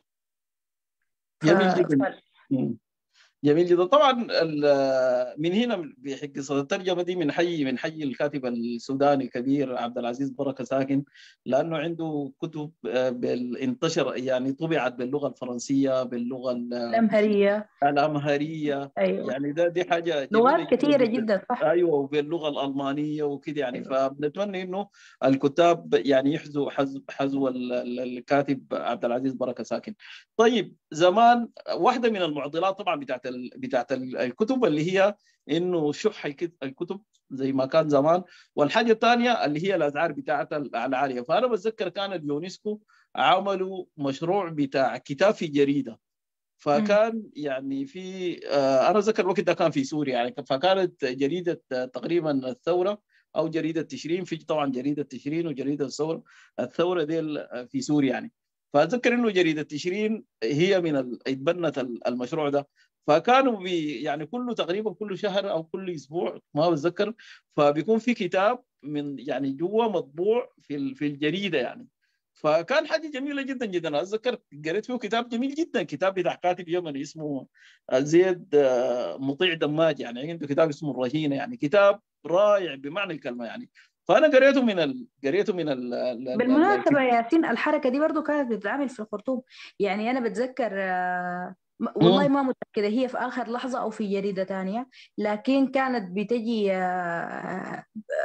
يعني حتى أنا بتذكر كانت في رواية هي بوليسية بتاعت مخابرات أو حاجة زي كده دي أنا كان يعني بقرأ منها كل أسبوع بقرأ العدد فكانت في حاجة زي دي برضو في الخطوط يعني كان في, أيوة. في العدد في في الملف الثقافي بتاع الأسبوعي بيكون في صفحة كاملة مفردة ل ل ل يعني مثلا فصل من من رواية. فالمشروع بتاع اليونسكو ده يعني كان كان فيه ما ما بس سوريا بس كان فيه كم دولة يعني دولة عربية. فللأسف إنه عشان الأجور بتاعت الطباعة وال ال يعني ال ال السياسة دائما بتدخل في عائق في الحاجات دي وكده للأسف المشروع ده وقف يعني. فأنا ب ب بتمنى بتمنى إنه يعني أنتم كدار نشر تتبنوا حاجة زي دي عشان إنه توفروا الكتاب للناس الما قادرين الما قادرين يشتروه يعني قد تكون يعني كحاجة كده خيرية يعني يساهموا فيها ناس رجال رجال أعمال ناس بيحبوا الحاجة دي تنتشر يعني ف يعني دي من. دي من المشاريع الرائده جدا جدا طيب ونحن بنتكلم عن المشاريع يعني نرتغي عندها مشاريع مصاحبة. يعني أنا قاعد أشوف في الصفحه بتاعتكم وكده ومتابع ليها ومشد المعجبين بها عندكم نشاطات برضه ما تنسى يعني. يا ياسين إنه أنتم يعني أحد كتاب نرتقي يعني. أنا ما بدات تكون أصلا شهادتي مجروحة في الحتة بتاعت النادي دي عندي طبعا. لكن المشاريع المصاحبة دي يا اسراء لأنه قاعد قاعد أشوفكم قاعد تمشوا مدني قاعد تمشوا الأغاليم وكده يعني. أيوه ففكرتكم شنو يعني في في الحاجة دي يعني؟ وبتدعم يلا كده. يلا يلا دايما أنا ب... يعني أنا دايما من من من بداية الفكرة بتاعت نرتقي من بداية الفكرة بتاعت نرتقي. يعني سبحان الله أمس أنا كنت كنت قابلت صديقتنا كاتبه اسمها تسنيم. تسنيم هي من شندي. فسبحان الله أثناء ما كنا إحنا قاعدين بنتونس ويعني بندردش يعني بهمومنا في الكتاب وفي في الثقافة وكذا. فطلعنا بانه والله يا أخي إحنا عايزين نعمل مشروع. آه أو هو مش مشروع كبير يعني إحنا عايزين نعمل فعالية في شندي اتفقنا عليها وحتى يعني من من اسا قررنا إنه إحنا حنجدول إجازاتنا يعني على أساس إنه إحنا نشتغل المشروع ده في الشتاء وكذا. فدايما أنا يعني بحس إنه عندنا مسؤولية إنه يا أخي ما كل الناس بتقدر توصلنا لكن إحنا بنحاول نوصل أكبر قدر من الناس. سواء في معارض سواء سواء في فعاليات في الولايات سواء كذا. يعني أنا بحس إنه دي بالنسبة لنا إحنا مسؤولية. صح في الفترة الأخيرة يعني المعوقات بقت في يعني في السودان يعني أنت بتكون بتخطط لحاجات بس ما بتقدر تنجزها بالصورة اللي أنت بتتمناها. ولكن يظل إنه إحنا واحدة من ال... من الأجندة الرئيسية عندنا إنه والله يا أخي نرتقي دي. آه زمان كان عندنا أيام الجامعة. يعني كان عندنا زي جمعية كده خيرية. كان الشعار بتاعها إنه في كل بيت ولكل بيت. يعني أنا بحس إنه إحنا برضو يعني عايزين نرتقي إنه هي تكون في كل بيت ولكل بيت. حتى لو وصلناهم بال social media لو توفقنا إنه إحنا نوصلهم لحد عندهم نعمل عندهم فعاليات. لو لو توفقنا في إنه إحنا نوصل لهم كتبنا. يعني بغض النظر عن الوسيلة إنه إحنا يعني لازم نسهل عملية كمسؤولية مجتمعية يعني عملية تلقي البرامج الثقافية تلقي المعرفة سهوله الحصول على الكتب كذا. طيب واحدة واحدة من برضه نشر الثقافة كانت يعني ما بعرف أنا لو واسع موجودة في السودان ولا كده اللي هي الأسابيع الثقافية. يعني كان إحنا حتى عندنا في القرية كان كل كل سنة في الإجازة بتاعت الصيف بيجوا الطلبة كلهم يعني من من الجامعات ومن المدارس الثانوية. فبيعملوا الأسابيع الثقافية. من ضمن الأسابيع الثقافية دي بيكون في المكتبة يعني. فكنا بتذكر بنمشي نتفق مع بتاع المكتبة في في في في سوق في سوق المناقل أو في سوق العزاز إحنا دارين الكتب. فكان بدون بدون الكتب يعني. والله كان حاجة جميلة خلاص يعني. بدون الكتب ولنا حافظوا عليها. لو طبعا اتباعت أي حاجة بنجيبها لهم ولو ما اتباعت في النهاية بنحطها في كراتين وبنجيبها لهم يعني. فالحاجة دي هم كانوا بيعملوها بروح طيبة جدا. حتى كنت بتخلع يعني بقول يا أخي الناس دي مجانين ولا شنو ما إحنا قاعدين؟ بنقعد خلال الأسبوع الثقافي ده بكون أسبوع كده.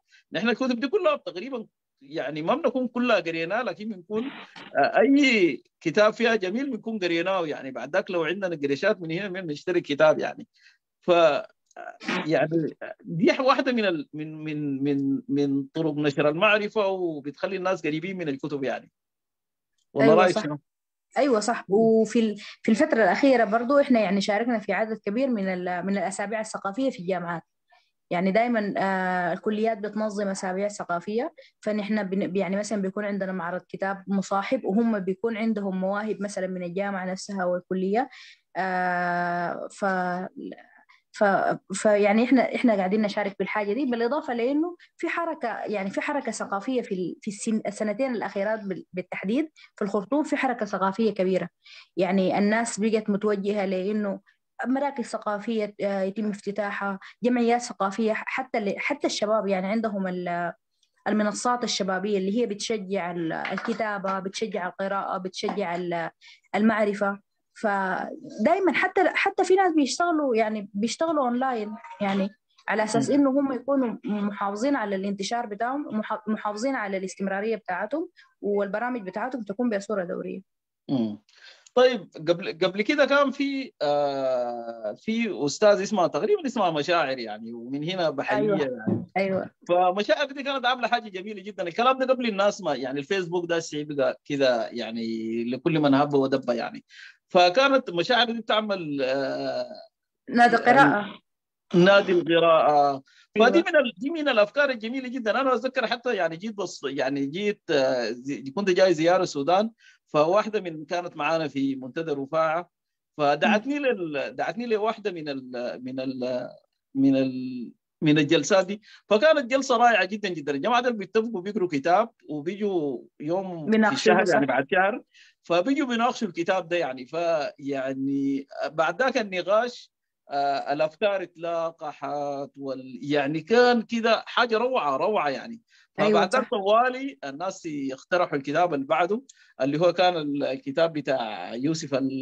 يوسف المحيميد تقريبا الكاتب السعودي بتاع الحمام لا يطير فوق بريدة.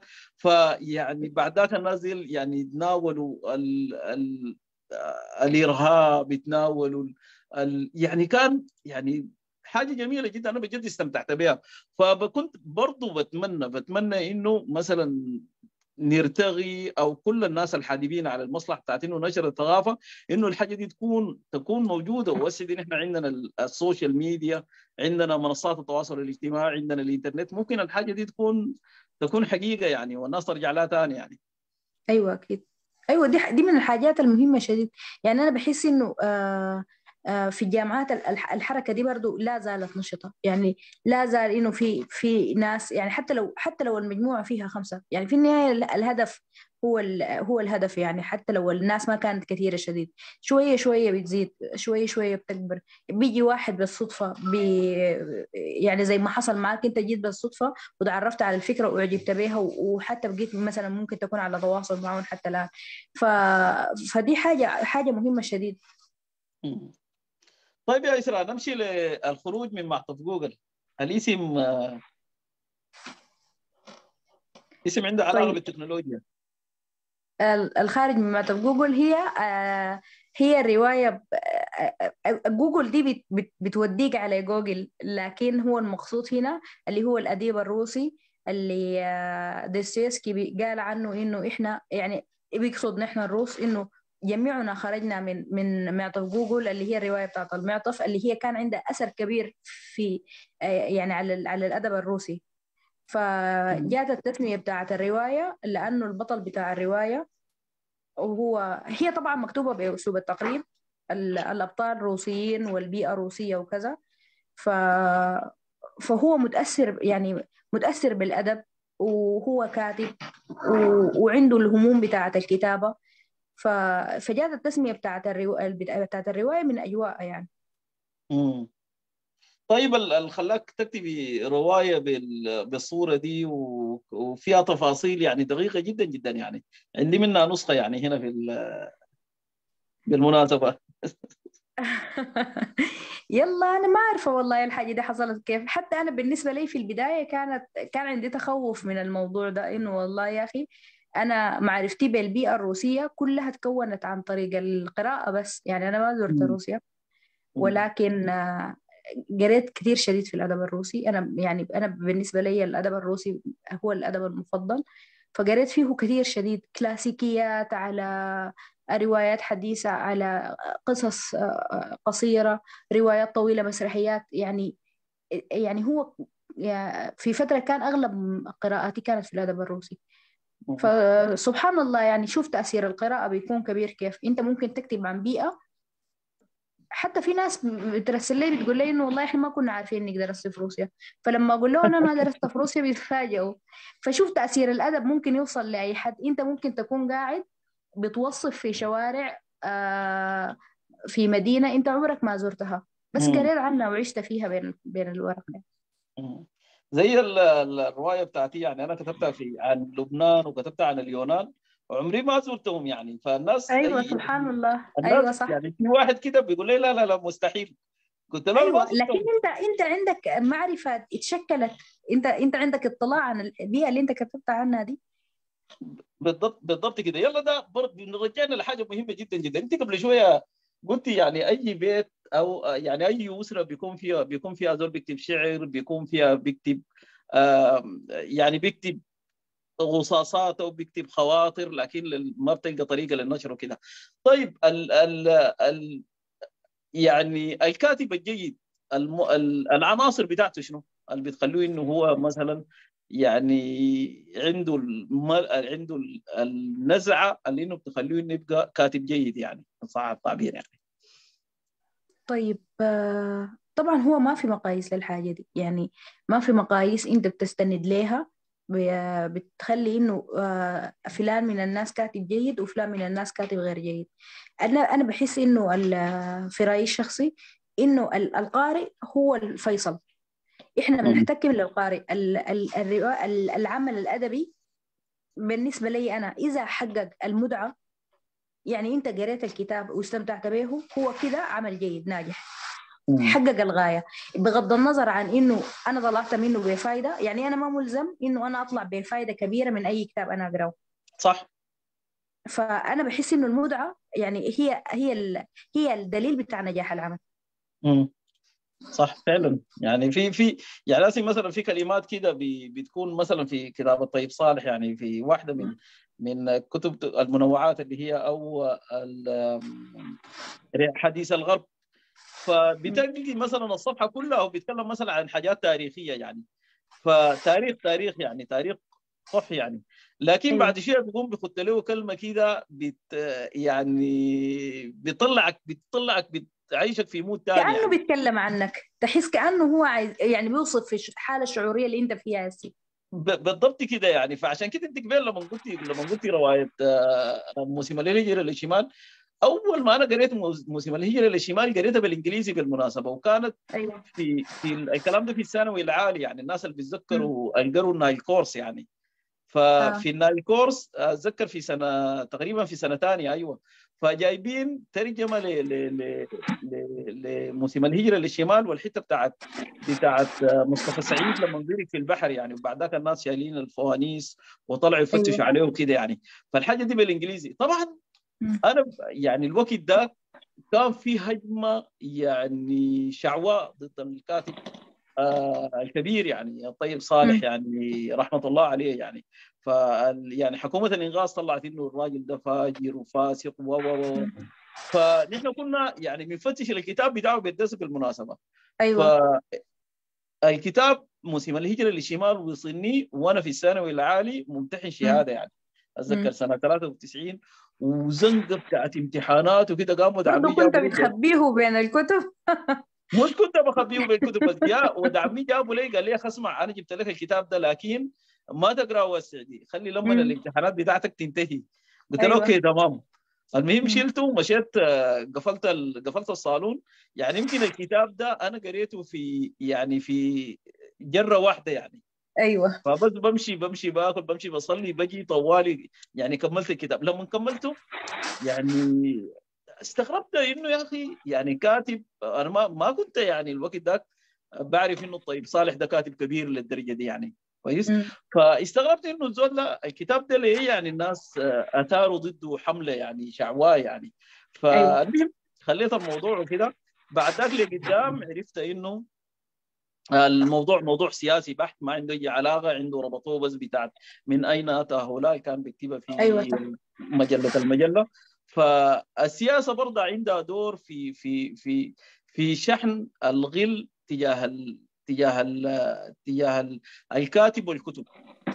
أيوة. وقريب يعني قريب ده كان حصلت مشكلة كبيرة جدا. الكاتب السوداني آه ايهاب عدلان تقريبا وعنده كتاب يعني اتمنع في في في دار ال- في في معرض الكتاب. في أيوة. معرض القاهره للكتاب يعني لأنه هو تناول بصورة. أنا ما ما لسه ما قريت الكتاب لكن قريت عنه مقتطفات إنه تناول ال ال ال ال الأصول السودانية والمصرية بشيء من من الجراءه يعني. فمفروض أيوة. يعني كتب زي دي يخلوها يخلوا الناس يعني يخلوا الناس يشوفوا فيها شنو يعني. بعد. ذاك هم يقيموا زي كتاب مثلا آيات شيطانية. يعني كاتب سلمان رشدي ما رشدي يعني يعني أهدر دمه عديله قبل شيء قريب يعني يمكن طعنوه يعني أيوه صح. هو عاش. يمكن قرابة ال 20 سنة أو أكثر آه متخفي. مم. فطيب أنا لحد الآن أنا لحد الآن دار أشوف دار أشوف الكتاب بتاع بتاع بتاع آيات شيطانيه كتب فيه شنو؟ عشان أنا أقدر ذاته أنا آه، يعني أحكم الحكم بتاعي يعني أيوة. كتاب مثلا كتاب يعني في كتب بتحرق في كتب بتباد وكده. فدي واحدة من مصايب مصايب الثقافة يعني. أيوه صح أيوه. أنا أنا كان قبل فترة قريت كتاب آه هو عبارة عن سلسلة بتاعت مقالات. الكتاب اسمه كتب ملعونة. طيب. الكتاب مهم جدا لكاتب عراقي اسمه علي حسين. آه هو رجل موسوعة ما شاء الله. يعني كل كتبه أنا بحس إنها كتب بتاعت مقالات هي دسمة جدا وعلى مستوى عالي من الثقافة يعني.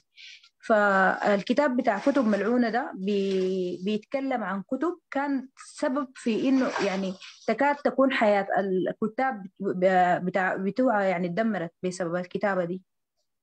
يعني هي كانت أشبه باللعنة على حلت على على أصحابها. صح. صح فعلا. يعني في في حين إنه ما في يعني ناسي مثلا برضو ال- نجيب محفوظ. نجيب محفوظ ال ال ال ال واحدة من ال- الرواية بتاعته اللي أخذ بها نوبل اللي هي آه، نسيت والله مع إنه اشتريتها اشتريتها من مشيت القاهره اشتريتها من من من مكتبة مدبولي. فحصل حصل حاجة جميلة جدا جدا. فلما مشيت.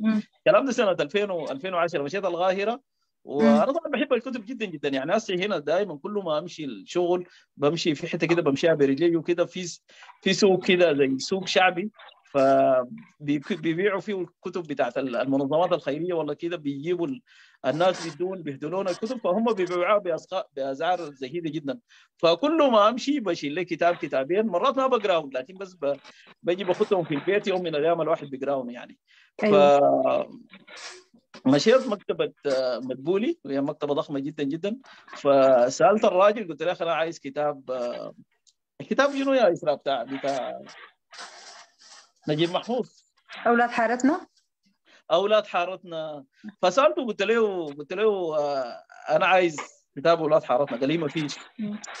أنا استغربت إنه منطقه ضخمة زي دي يعني ما يكون فيها دكاتره مصري وكده يعني.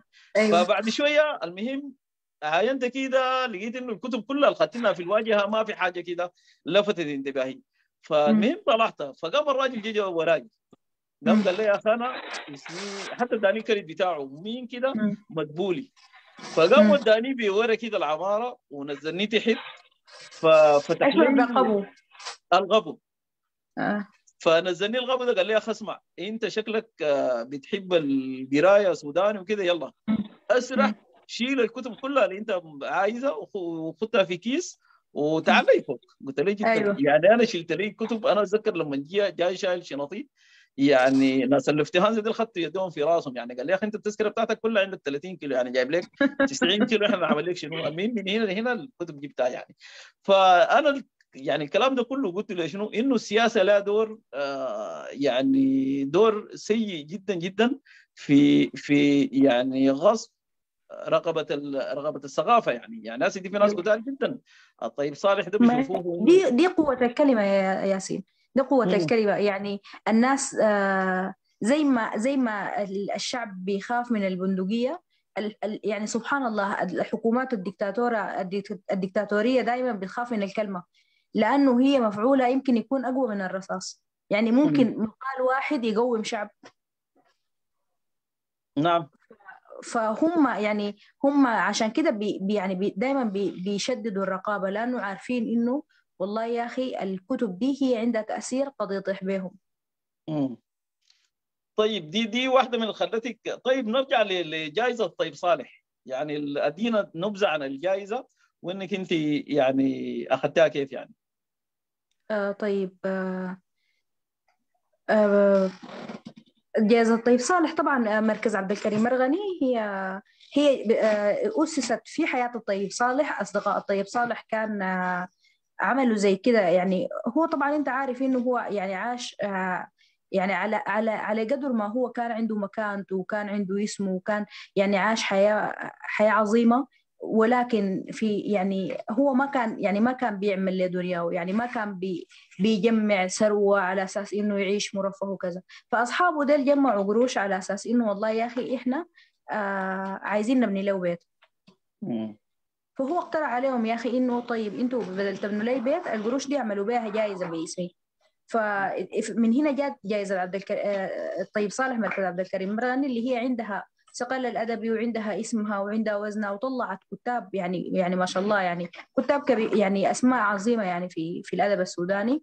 وبالنسبة لي أنا يعني أنا كنت محظوظة جدا من إنه أنا يعني إنه أنا فزت بها في مجال الرواية وفي مجال القصة.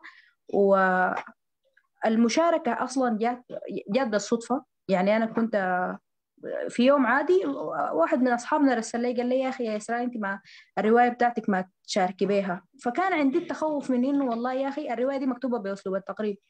فهل هل حد حتتقبل أصلا؟ يعني عشان تدخل في المنافسة. فسبحان الله يعني جاء في في التقرير بتاع اللجنة إنه هي يعني أسلوب جديد في الكتابة. هي رواية عن الرواية. أسلوب جديد في الكتابة. يعني أول مرة يتكتب في السودان يمكن أو يعني يعني يعني ما اتكتب قبل كده.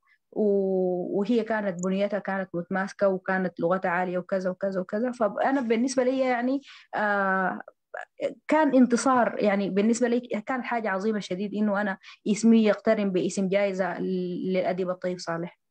ف يعني وقتها خلاص حسيت إنه والله دي مسؤولية إنه أنا الكتابة دي مفروض بالنسبة لي تكون التزام. وجائزة أخرى من محمد سعيد ناود. أيوه. أيوه محمد سعيد ناود. كانت أول يعني أول مرة أنا أشارك في مسابقة كانت في القصة القصيرة بنص اسمه فاكهة الحمقى. برضو بيدور في فلك الكتابة والكتاب وكذا. فالحمد لله برضو أخذ جائزة تقديرية. دي بتاعت البت اللي كانت مشت يعني كانت قاعدة في الحقول وبتكتب وكده لا لا دي دي كانت في طيب صالح اللي آه، هي سوسن لكن دي بتاعت البت اللي هي بتعمل voice over وبعدين آه آه كانت بتتعامل مع الموضوع بإنه والله يا أخي بس وسيلة للتكسب. هي بتقرا بصوره كويسة ولغتها جيدة وادائها يعني في القراءة كويس. فكانت بتمشي بتحضر حفلات التوقيع بتقرأ نصوص من الكتب يعني بمقابل مادي. ففي مرة من المرات الناشر اداها كتاب اداها كتاب على أساس إنها تقرأ منه كذا. فهي تعاملت مع الموضوع إنه قالت خلاص يعني بتبرر لنفسها إنه أنا عايزة أعيش انفعال اللحظة مع الجمهور عشان يعني تداري على إنها هي ما يعني ما ملتزمة. فلما بتقرأ في النص كانت يعني كانت حاسة بإنه الناس متفاعلة معه لكن هي حاسة إنه ده نص رديء فحست في إنه هي كأنها هي بت يعني بتجمل في فاكهة يعني بتاع يعني كأنه يعني كأنه دي حماقة اللي هي بترتكب فيها وحست بالذنب إنه كأن يعني في بيت قالت لها إنه انفعالك كان بيطفي روح على النص. فحست إنه آه لا أنا مفروض أكون مسؤولة وإنه طيب إذا أنا الناس حتاخد الكتب ب يعني بتنظر لها بنظرة معينة على أساس أنا إلقائي لها وتفاعلي معها وأدائي لها وكذا. فبالضرورة إنه أنا المفروض أديهم حاجة يعني مكتوبة كويس. خصوصا إنه كانت بتتعامل مع كاتب هو مستهتر وكذا وكذا. ف آه أنا ما عارفة والله المناسبة اللي خلتني أكتب النص ده شنو لكن هو كان موفق يعني وأخذ أخذ جائزة طيب كان, في حس ساخر بالمناسبة يعني. في شنو؟ حس ساخر آه okay okay. طيب نجي ل... ل... ونحن في في يعني امبارح العالم يعني احتفى بالمرأة في عيد المرأة العالمي.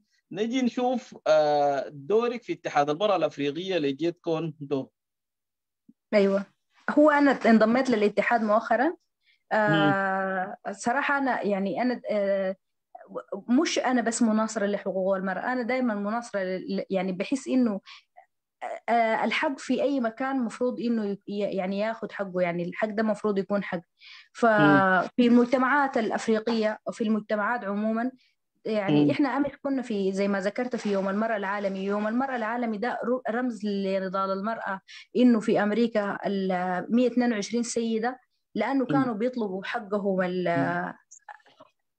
كانوا بيطلبوا حقهم. واصلي. ف... آه فكانوا بيطلبوا حقهم وتعرضوا للقتل. يعني هم هم أحرقوا لأنهم كانوا بيطالبوا بحقوقهم المادية.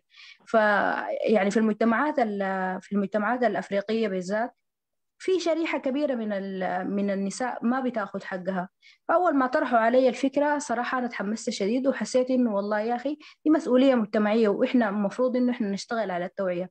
بالنسبة لنا في ناس بيكونوا أبسط حقوقهم ما عارفين إنها دي حق. فإحنا المفروض نشتغل على على النقطة بتاعت التوعية على أساس إنه كل واحد يكون عارف البيه واللي عليه عشان يقدر إنه يقدمه أو على أساس إنه يقدر يعني يعني يقدم المسؤولية اللي عليه وياخذ الحقوق اللي هي المفروض إنه ياخذها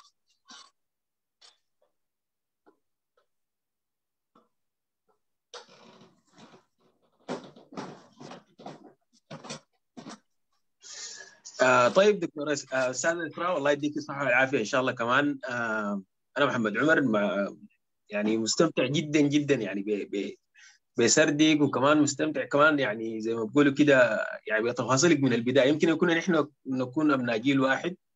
آه كان عندك كم سؤال كده تقريبا يعني قبل ما الدكتور ياسين يجي راجع؟ يعني دردشة كده بسيطة كده زي ما بقولوا الناس يعني. تفضل واصل واصل طوالي يا دكتور. يديك الصحة والعافية إن شاء الله. يعني زي ما قلت لك مستمتع جدا جدا ودي فرصة يعني يعني شوية كده الواحد يقول الحاجة اللي في باله.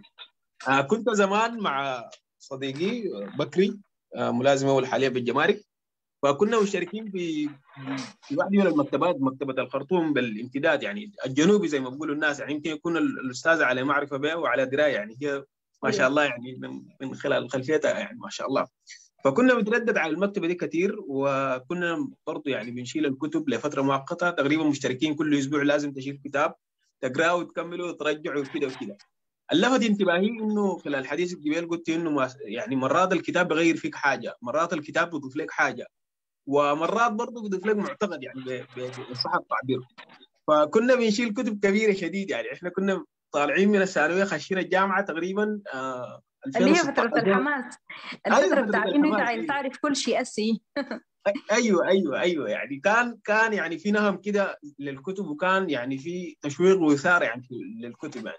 أنا يمكن أول كتاب قريته كان ألف ليلة وليلة. يعني أي زول قرأ ألف ليلة وليلة أكيد يعني الفكرة بتترسخ في ذهنه. فبعد ذاك اشتراكنا مع المكتبه وسع علينا الافق بصورة أكبر وكنا بنمشي نشيل كتب كبيرة شديد. يعني ناس جيفارا و... والكتب الكثيرة دي هو بيشيل الكلام ده بناء على ميوله هو. وأنا كنت بشيل للدكتور طارق السيودان. يمكن قريت السلسلة بتاعت أسس القياده وال... وال... وال... والإدارة والتفاصيل دي. يمكن قريت لي قريب 20 كتاب يعني. فكان الخوف من المجتمع. يعني أنت حاليا أنت ذكرت إنه التوعية وما التوعية وكذا كان الخوف من المجتمع. لما كان الناس بتشوفنا نحن شايلين كتب متشابكين في مكتبة وبنقرا بنقرأ حاجات غريبة أول سؤال بيبادر في الاذهان إنه الناس زلتوا ماشيين في توجه. يمكن توجه سلبي ماشيين خاشين في تنظيم ولا حاجة كده لما يلقوك بتلقى بتقرأ كتاب مثلا بيتعلق عن ال عن ال الثقافة الإسلامية بصورة عامة والوقت ده كمان شائع جدا جدا. يعني بالنسبة اللي بيطلع كثير في في الحاجات دي إنه يكون يا ماشي يبقى يا ماشي أيوة, أيوة, أيوة, أيوه أيوه أيوه, أيوة. يعني كان يعني كان في اعتقادات أو اذا أنت عادي بعد شوية بي في ناس بتقول لك طيب أها يلا اعترف أنت شيوعي صح؟ أكيد أكيد أكيد أكيد. يعني كان امتاب خوف كبير شديد وبعد ذاك الواحد شوية شوية بقى يعني كان داون يعني بقى ما ما بيستمر في الحاجة دي. لكن أيوة. صراحة يعني كان شك يعني ال ال ال الاطلاع غير في في فينا كثير شديد غير في مفاهيمنا خدتنا في الطريق الصحيح بالذات أنا يعني كنت آه يعني مدمن مدمن إنه أقرأ للدكتور طارق السودان أي أي كتاب طلع جديد أي مخطوطة طلعت جديدة أي حاجة بتتعلق به يعني حتى على اليوتيوب برضه يعني بقيت أتابع محاضراته وبقيت أتابع تفاصيله فعموما والله تمنياتنا لكم والله إن شاء الله بالتوفيق وإن شاء الله كمان والله يعني مزيدا من التقدم والازدهار إن شاء الله. لكن سؤالي يمكن يكون بسيط جدا. يمكن يكون دكتور ياسين عرضه بصورة غير مباشرة. إنه الجيل الجديد يعني ولا الجيل اللي هسه حاليا اللي بعدينا زي ما بيقولوا الناس. يعني شوية كده بعيدين من الحاجة دي ويمكن يكون الأنظمة الحديثة أثرت كثير جدا يعني في في في القراءة والاطلاع والثقافة. بتاعت انك تشيل كتاب وتقعد وتعرف الحاصل فيه شنو تمشي وتجي وتبدل وكده. آه يمكن الانتشار بتاع التكنولوجيا مخيف جدا جدا والمواقع الحديثة برضه يعني بقدر الإمكان يعني ساعدت في الحاجة دي. فأنتوا دوركم شنو يعني؟ والله يكون نظرتكم البعيدة شنو؟ بما إنه أنت يعني ما شاء الله يعني سالت إنه كل حاجة يكون عندك plan A و plan B. يعني مثلا حاليا بتواجهوا ال ال ال ال ال يعني ال social media بصورة عامة بتواجهوا كمان ال المواقع الجديدة زي ناس ال ChatGPT والتفاصيل دي. يعني بشنو يعني مثلا يعني؟ احتمال إحنا ذاتنا برضه نستفيد من تعليقك برضه إن شاء الله. شاكر ومقدر والله للمساحة كمان وإن شاء الله بالتوفيق والله. يديك العافية إن شاء الله. الله يخليك يا رب. تسلم كثير. شكرا على كلامك اللطيف أول حاجة. وفعلا إحنا جيل واحد أفكارنا واحدة. الحاجات اللي أنت كنت بتذكر فيها دي يعني دي مراحل أنا أنا مرت بيها وشفت ناس مرت بيها. ف يلا بالنسبة للسؤال بتاعك. كل حاجة عندها يعني عندها محاسنها وعندها مساوية. الإنسان دائما عدو ما يجهل. إحنا لما نجي ن... تجينا حاجة جديدة يعني أنت ذكرت البرنامج بتاع الشات ال... ال... ال... اللي هو طلع مؤخرا. يلا الحاجة دي بالمناسبة أنا جربتها. هي حاجة جميلة شديد. يعني هو موقع بتاع إحنا متعودين عليه إنه والله يا أخي في مواقع بتاعت شاتنج اللي هي بتديك ردود تلقائية وكذا. هي بتكون محدودة. الموقع ده مطور بالذكاء الاصطناعي فيه كم مهول من المعلومات. يعني أنت لو دخلت وتكلمت معاه عن النظرية النسبية حتلاقيه إنه بيناقشك بمعلومات حقيقية يعني. فنحن من كل حاجة يعني إحنا قبل ما يعني قبل ما ناخذ خط إنه والله يا أخي لا الحاجة دي هي حتشيل حاجات من الكعبة المفروض إنه إحنا نحاول نفهم هي بتقدم لنا شنو كويس. لأنه زمان الناس كانت متخوفة مثلا من إنه ولسه في ناس بت يعني أنا بحس إنه الصوت ده هو شوية شوية حيخفت لأنه صوت إنه والله الكتاب الورقي حيختفي التكنولوجيا أثرت على القارئ الورقي إنه خلته محدود. لا الكود المطابع بتطبع ودور النشر بتوزع والدنيا ماشية وحتمشي. فكل حاجة إحنا حناخد منها اللي بيفيدنا ونحاول إنه نكون على وعي من إنه الحاجة اللي ما حتفيدنا في الموضوع ده نتجنبها. ف...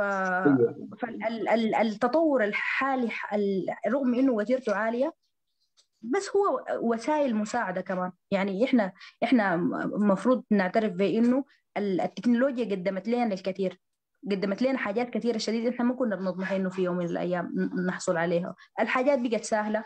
آه أنت ممكن آه تمشي تقرأ لك ورقة علمية مكتوبة في إكسفورد الليلة تنزل مترجمة. زمان ما في حاجة زي كده. فيلا بتبقى المفارقة في إنه الجيل الجديد إحنا عندنا المسؤولية بتاعتنا إنه إحنا نوعي الجيل ده لإنه طيب هم بيقروا لسه بيقروا أنا متأكدة من الحاجة دي لأنه إحنا قاعدين نبيع كتب. يعني الناس قاعدة تشتري. بتبقى المفارقة وين؟ المفارقة في إنه هم حيشتروا شنو؟ هم حي... حيشتروا ال best seller اللي هي الكتب اللي بتبيع الأوهام مثلا آه كيف تحقق الثراء في أسبوع في حين إنه أنت ما عندك شهادة جامعية أو ما عندك مهنة أو ما عندك صنعة ولا حيقروا حاجة مثلا عندها خلفية علمية هم ممكن يستفيدوا منها. فبتحاول إنه أنت تستخدم التكنولوجيا نفسها في إنه والله يا أخي آه أنا حديك مثلا ريفيو عن الكتاب ده أقنعك إنه أنت تشتريه في حين إنه هو كتاب مثلا بيتكلم آه عن دراسات علمية. بس بطريقة مبسطة لغير لغير الأكاديميين مثلا. بيبقى المفارقة هنا إنه والله يا أخي أنت عندك مسؤولية في إنه تغير الخط اللي أو أو تساهم. يعني أنت في النهاية مجهودك بيكون محدود لأنه مجهود بتاع مؤسسة أو مجهود بتاع أفراد أو كذا. فبتكون بتحاول إنه أنت تساعد في إنه آه ال ال ال الحاجات اللي بتكون مطروحة الحاجات اللي الناس بتقراها هي بتقدم لهم وبتفيدهم. معرفة حقيقية يعني. فعلا فعلا فعلا فعلا. والله أتمنى إنه أنا أكون جاوبت يعني لا حقيقة حقيقة يعني. أنت وصلتينا لمفهوم يمكن كلنا بنتفق فيه آه إنه الإنترنت نعمة وال وال والأنظمة الحديثة برضه نعمة يعني. لازم نستخدمها بالطريقة الأمثل وعلى حسب أيوة. احتياجنا كمان يعني وعلى حسب ظرفنا يعني. ممكن ال ال الحاجة البسيطة دي تغير حياة ناس بصورة كبيرة جدا جدا. يمكن شوية نحن عندنا كسودانيين ولا كشعب سوداني استخدامنا شوية كده شوية كده يعني بسيط كده سلبي شوية للإنترنت وكده يعني.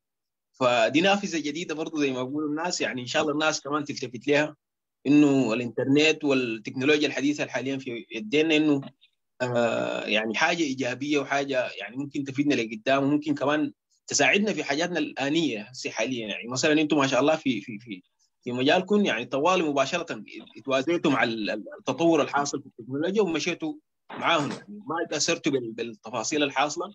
يمكن كمان اتحديتوا يمكن ال ال ال يعني الضغط الكبير ده الجاي من الميديا والجاي كمان من الإنترنت. وعموما والله بالتوفيق والله إن شاء الله أستاذة كمان وإن شاء الله نسمع عنكم كل خير والله إن شاء الله موفقة كمان والله إن شاء الله بإذن الله والله. بإذن الله اللهم آمين يا رب. ربي نرجع نرجع لدكتور ياسين. معلش يا دكتور. الله يديك العافية يا أخي. بالعكس أنا مستمتع جدا بمداخلتك يا دكتور.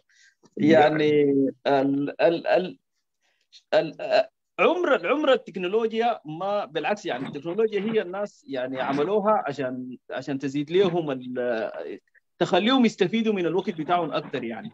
تمام؟ فهسه نحن بقينا نستخدم زمان يعني كان ما في ما في ما في لابتوب كان بس في الديسكتوب اللي هو الكمبيوتر الثابت يعني بعد شوية بقى اللابتوب عشان إنه الناس تقدر أنت ماشي في الطريق ماشي في القطر راكب في القطر قاعد في قهوة كده بتفتح اللابتوب بتشتغل شغلك. بعد جات الهواتف الذكية اللي هي زادت ال ال ال الديناميكية بتاعت ال بتاعت الشغل وكده. يعني هسه أنت بقيت من التليفون بتاعك ده تعمل الحاجات كلها. يعني يعني الناس بقى التليفون بتاعك ده تدفع يعني تمشي تشتري تكب بنزين وكده بتدفع بالتليفون بتاعك. يعني ما المحفظة دي ذاتها خلاص نسيناها يعني تمام؟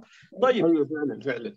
عندك مثلا Amazon Amazon طوالي لما شاف إنه والله يا أخي التكنولوجيا دي يعني بقت مسيطرة وكده فطوالي جو مشوا عملوا ال Kindle بتاعه. الناس بتلقى بتركب في البصة والقطر بتلقى أو الطيارة بتلقى الناس شايلين ال Kindle ده وبيقروا فيه منزلين فيه الكتب يعني. بعد ذاك الجرير يعني جرير آه يعني أنا بعشق جرير يعني. مكتبة جرير يعني مكتبة ضخمة جدا جدا. عندهم برضه نزلوا حاجة اسمها غاري جرير يعني وبينزلوا فيه كتب مجانية يعني.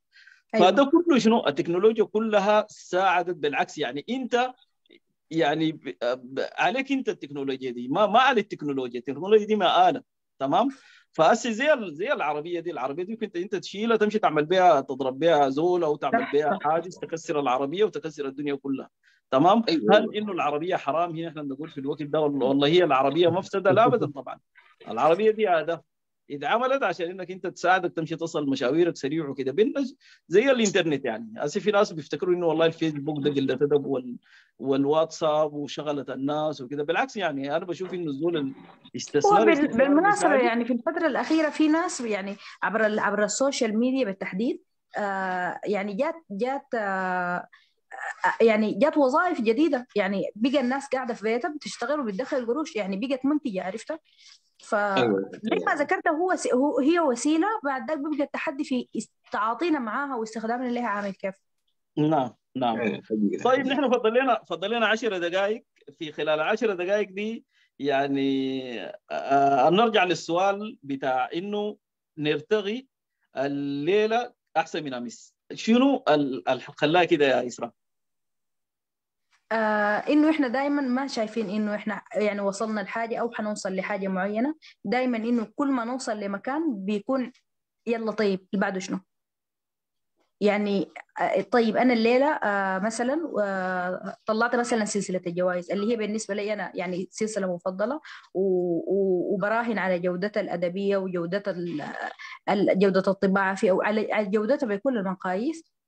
لا طيب أنا ما حأكتفي بالحاجة دي حقوم أعمل سلسلة جديدة حقوم أعمل آه، فكرة جديدة. عشان كده دايما إنه يعني حتى حتى لما أوصل لحاجة وأكون مبسوطة بالإنجاز بكون عارفة إنه بعده حيكون في إنجاز أكبر حتبسط به أكثر إن شاء الله. مم. المستقبل؟ المستقبل مفتوح قدامنا إن شاء الله. ربنا يعني ربنا يوفقكم ويعني يعني حاجة حاجة جميلة يعني إنه الناس ترجع وإنه يكون عندنا الخرطوم تكتب وتنشر وتقرا يعني. ف يعني أنا سعيد جدا لما أجي أكتب لي حاجة أكتب لي يعني مثلا آه، مقتطفات عن كتاب أو خواطر عن كتاب معين وكده طوالي الشباب بيجوا طوالي بيسالوا يقول لك يا أخي ال PDF بتاعه وين وكده يعني. أيوه. فبرضه بتمنى بتمنى إنه ال ال يعني ال يعني الاقتصاد بتاعنا يساعد ال يساعد دور النشر يساعد المطبع المطابع وكده عشان ما نضطر نحن نمشي نطبع العملة الصعبة بتاعتها دي نمشي نوديها مصر أو نوديها إيران أو نوديها أنا يعني ما ما ما عندنا مشكلة معاهم بنحبهم جدا جدا شعوب العالم كلهم أيوه لكن عايزين نكون منتجين. إحنا عايزين نكون منتجين. عايزين. نكون منتجين بالضبط كده يعني. طيب يا إسراء آه مشروع كتاب. أنا عندي عندي مشروع هو تقريبا هسه اكتمل يعني آه، إن شاء الله إن شاء الله في القريب يعني حيطلع. اللي هي رواية اسمها غرفة صغيرة في شارع منسي هي خلاص يعني. آه بعدها في فكرة تانية هي أنا بديت فيها بس لسه يعني يدوب الفصل الأول اللي هي اسمها رواية اسمها في مديح الصمت. مم. آه ف يعني الواحد بيحاول إنه يعني ياخذ الموضوع زي ما قلت لك بمسؤولية وإنه آه ما يلقى لنفسه أعذار. يعني ما يلقى لنفسه أعذار ابدا ما يكون متسامح مع نفسه في الحاجة دي لأنه المشغوليات كثيرة. الناس كلها. مشغولة والله. بس مم. كمان آه ما المفروض نكون مشغولين على حساب الكتابة. شارع جوبا شارع جوبا روايتنا المفضلة في نرتا لا والله هو مش تحيز. سبحان الله يعني مش تحيز. أنا دائما بلقى نفسي بتكلم إنه والله أنا أنا بحب رواية شارع جوبا يعني بحبها شديد. مش تحيز يعني أنا والله كل الإصدارات بتاعت نرتقي أنا بحبها وكلها عندي في نفس المكان بس شارع جوبا عزيزه علي يعني. طف كده واعتقد إنها هي مش علي أنا بس. أنا أنا أنا بعتقد إنه حتى أنت ذكرتها لأنه هي أتوقع إنها عزيزة عليك. كل الناس اللي قرأتها عندهم الانطباع ده تجاهها. كلام ف... الناس؟ آه؟ روايه دكتور عمرو؟ سيرة ناس سيرة ناس سيرة ناس. سيرة ناس أيوه. برضو من الروايات اللي ال- ال- اللي هي بتحكي بتحكي حكاية يعني أنا بتذكر في واحدة من البنات آه، عاملة ريفيو عن الرواية. كاتبه سيره ناس حكايتنا كلنا. يعني أنت بتلاقي فيها حاجة عن عن حاجة أنت يعني بتمثلك بطريقة ما. مم. فالروايه نجحت شديد و... وعمر وأسي المفروض عنده كتاب تاني إن شاء الله إن شاء الله يطلع قريب آه وإن شاء الله غير الكتاب يكون في رواية تانية يعني هو يعني إن شاء الله يعني يلقى زمن أكثر لموضوع. الكتابة ده لأنه عنده فيه مستقبل مم. أنت عارف أنا أكثر أكثر يعني أول حاجة تحية لحبيبنا صلاح صلاح آه، تنقاري وشارع جوبا يعني أنا بقى أنا أنا أنا أنا مغرم جدا بالأمكنة يعني بحب الرواية اللي بتتكلم اللي بيكون فيها أمكنة يعني يعني شارع جوبا أنا بالمناسبة ما كنت عارف في الخرطوم دي في شارع اسمه جوبا أيوه سبحان الله أيوه ما عرفته إلا بعد طبعا الشباب يعني. عندنا في النرتقي مسمينه شارع تنقاري بيجوا ماشيين يقول لك إحنا جم شارع تنقاري.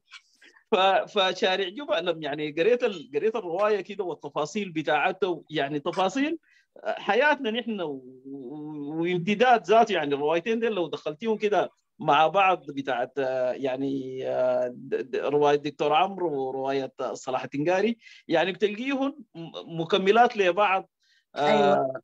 يعني يعني شارع جوبا الثورة السودانية الاحتفاء بالمكان الاحتفاء بالمكان و... و... واللي هو عرضه بطريقة انت يعني بتخليك تتخيله وفي سيرة ناس الشخصيات الشخصيات مم. اللي هي أنت بتحسها إنها قريبة لك بتبكي معاها بتفرح معاها بتتأثر بها.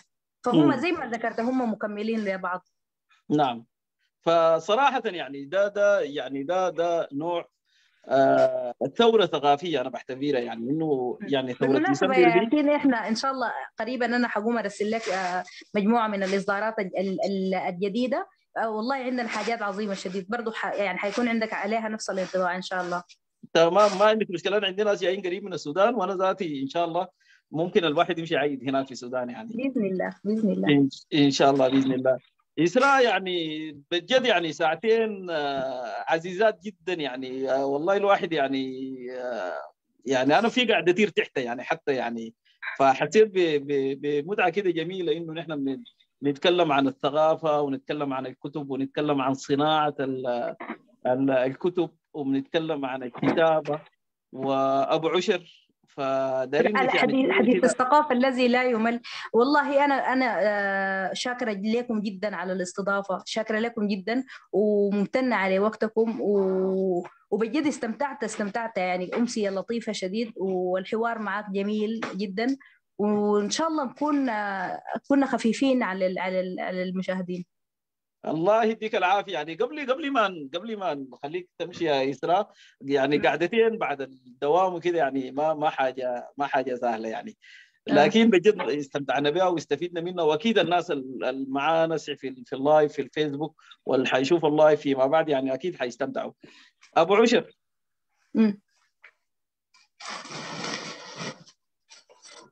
اللي هي ال- ال- ال- الذاكرة الأولى. ت- يعني بت- بتكون عايش على أساس إنه دي حدود العالم.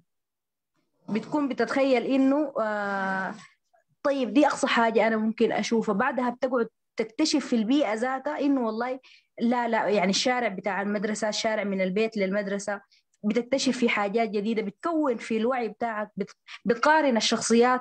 اللي انت بتقابلها يعني ال- المكان يعني المكان اللي انت بتنشأ فيه هو طبعا له أثر ودور كبير. يعني مع إنه إحنا يعني في بيتنا كنا يعني كان عندنا مجتمع خاص في البيت. يعني عندنا عندنا عندنا روح كده في البيت.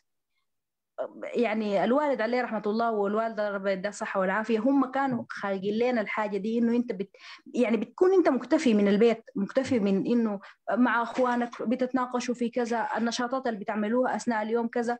ولكن برضو البيئة لها دور كبير إنه والله يا أخي ب- في شخصيات بت بت بت بتكون مكرسة في دماغك إنه حتى وأنت مثلا بتكتب بتتذكر والله يا أخي آه في كان مثلا راجل كبير بيلاقيك في الشارع ده انطباعك عن الشخصية بيكون عامل كده. تصورك حول حول الحياة بت- بتبنيه من الشخصيات اللي انت بتقابلها.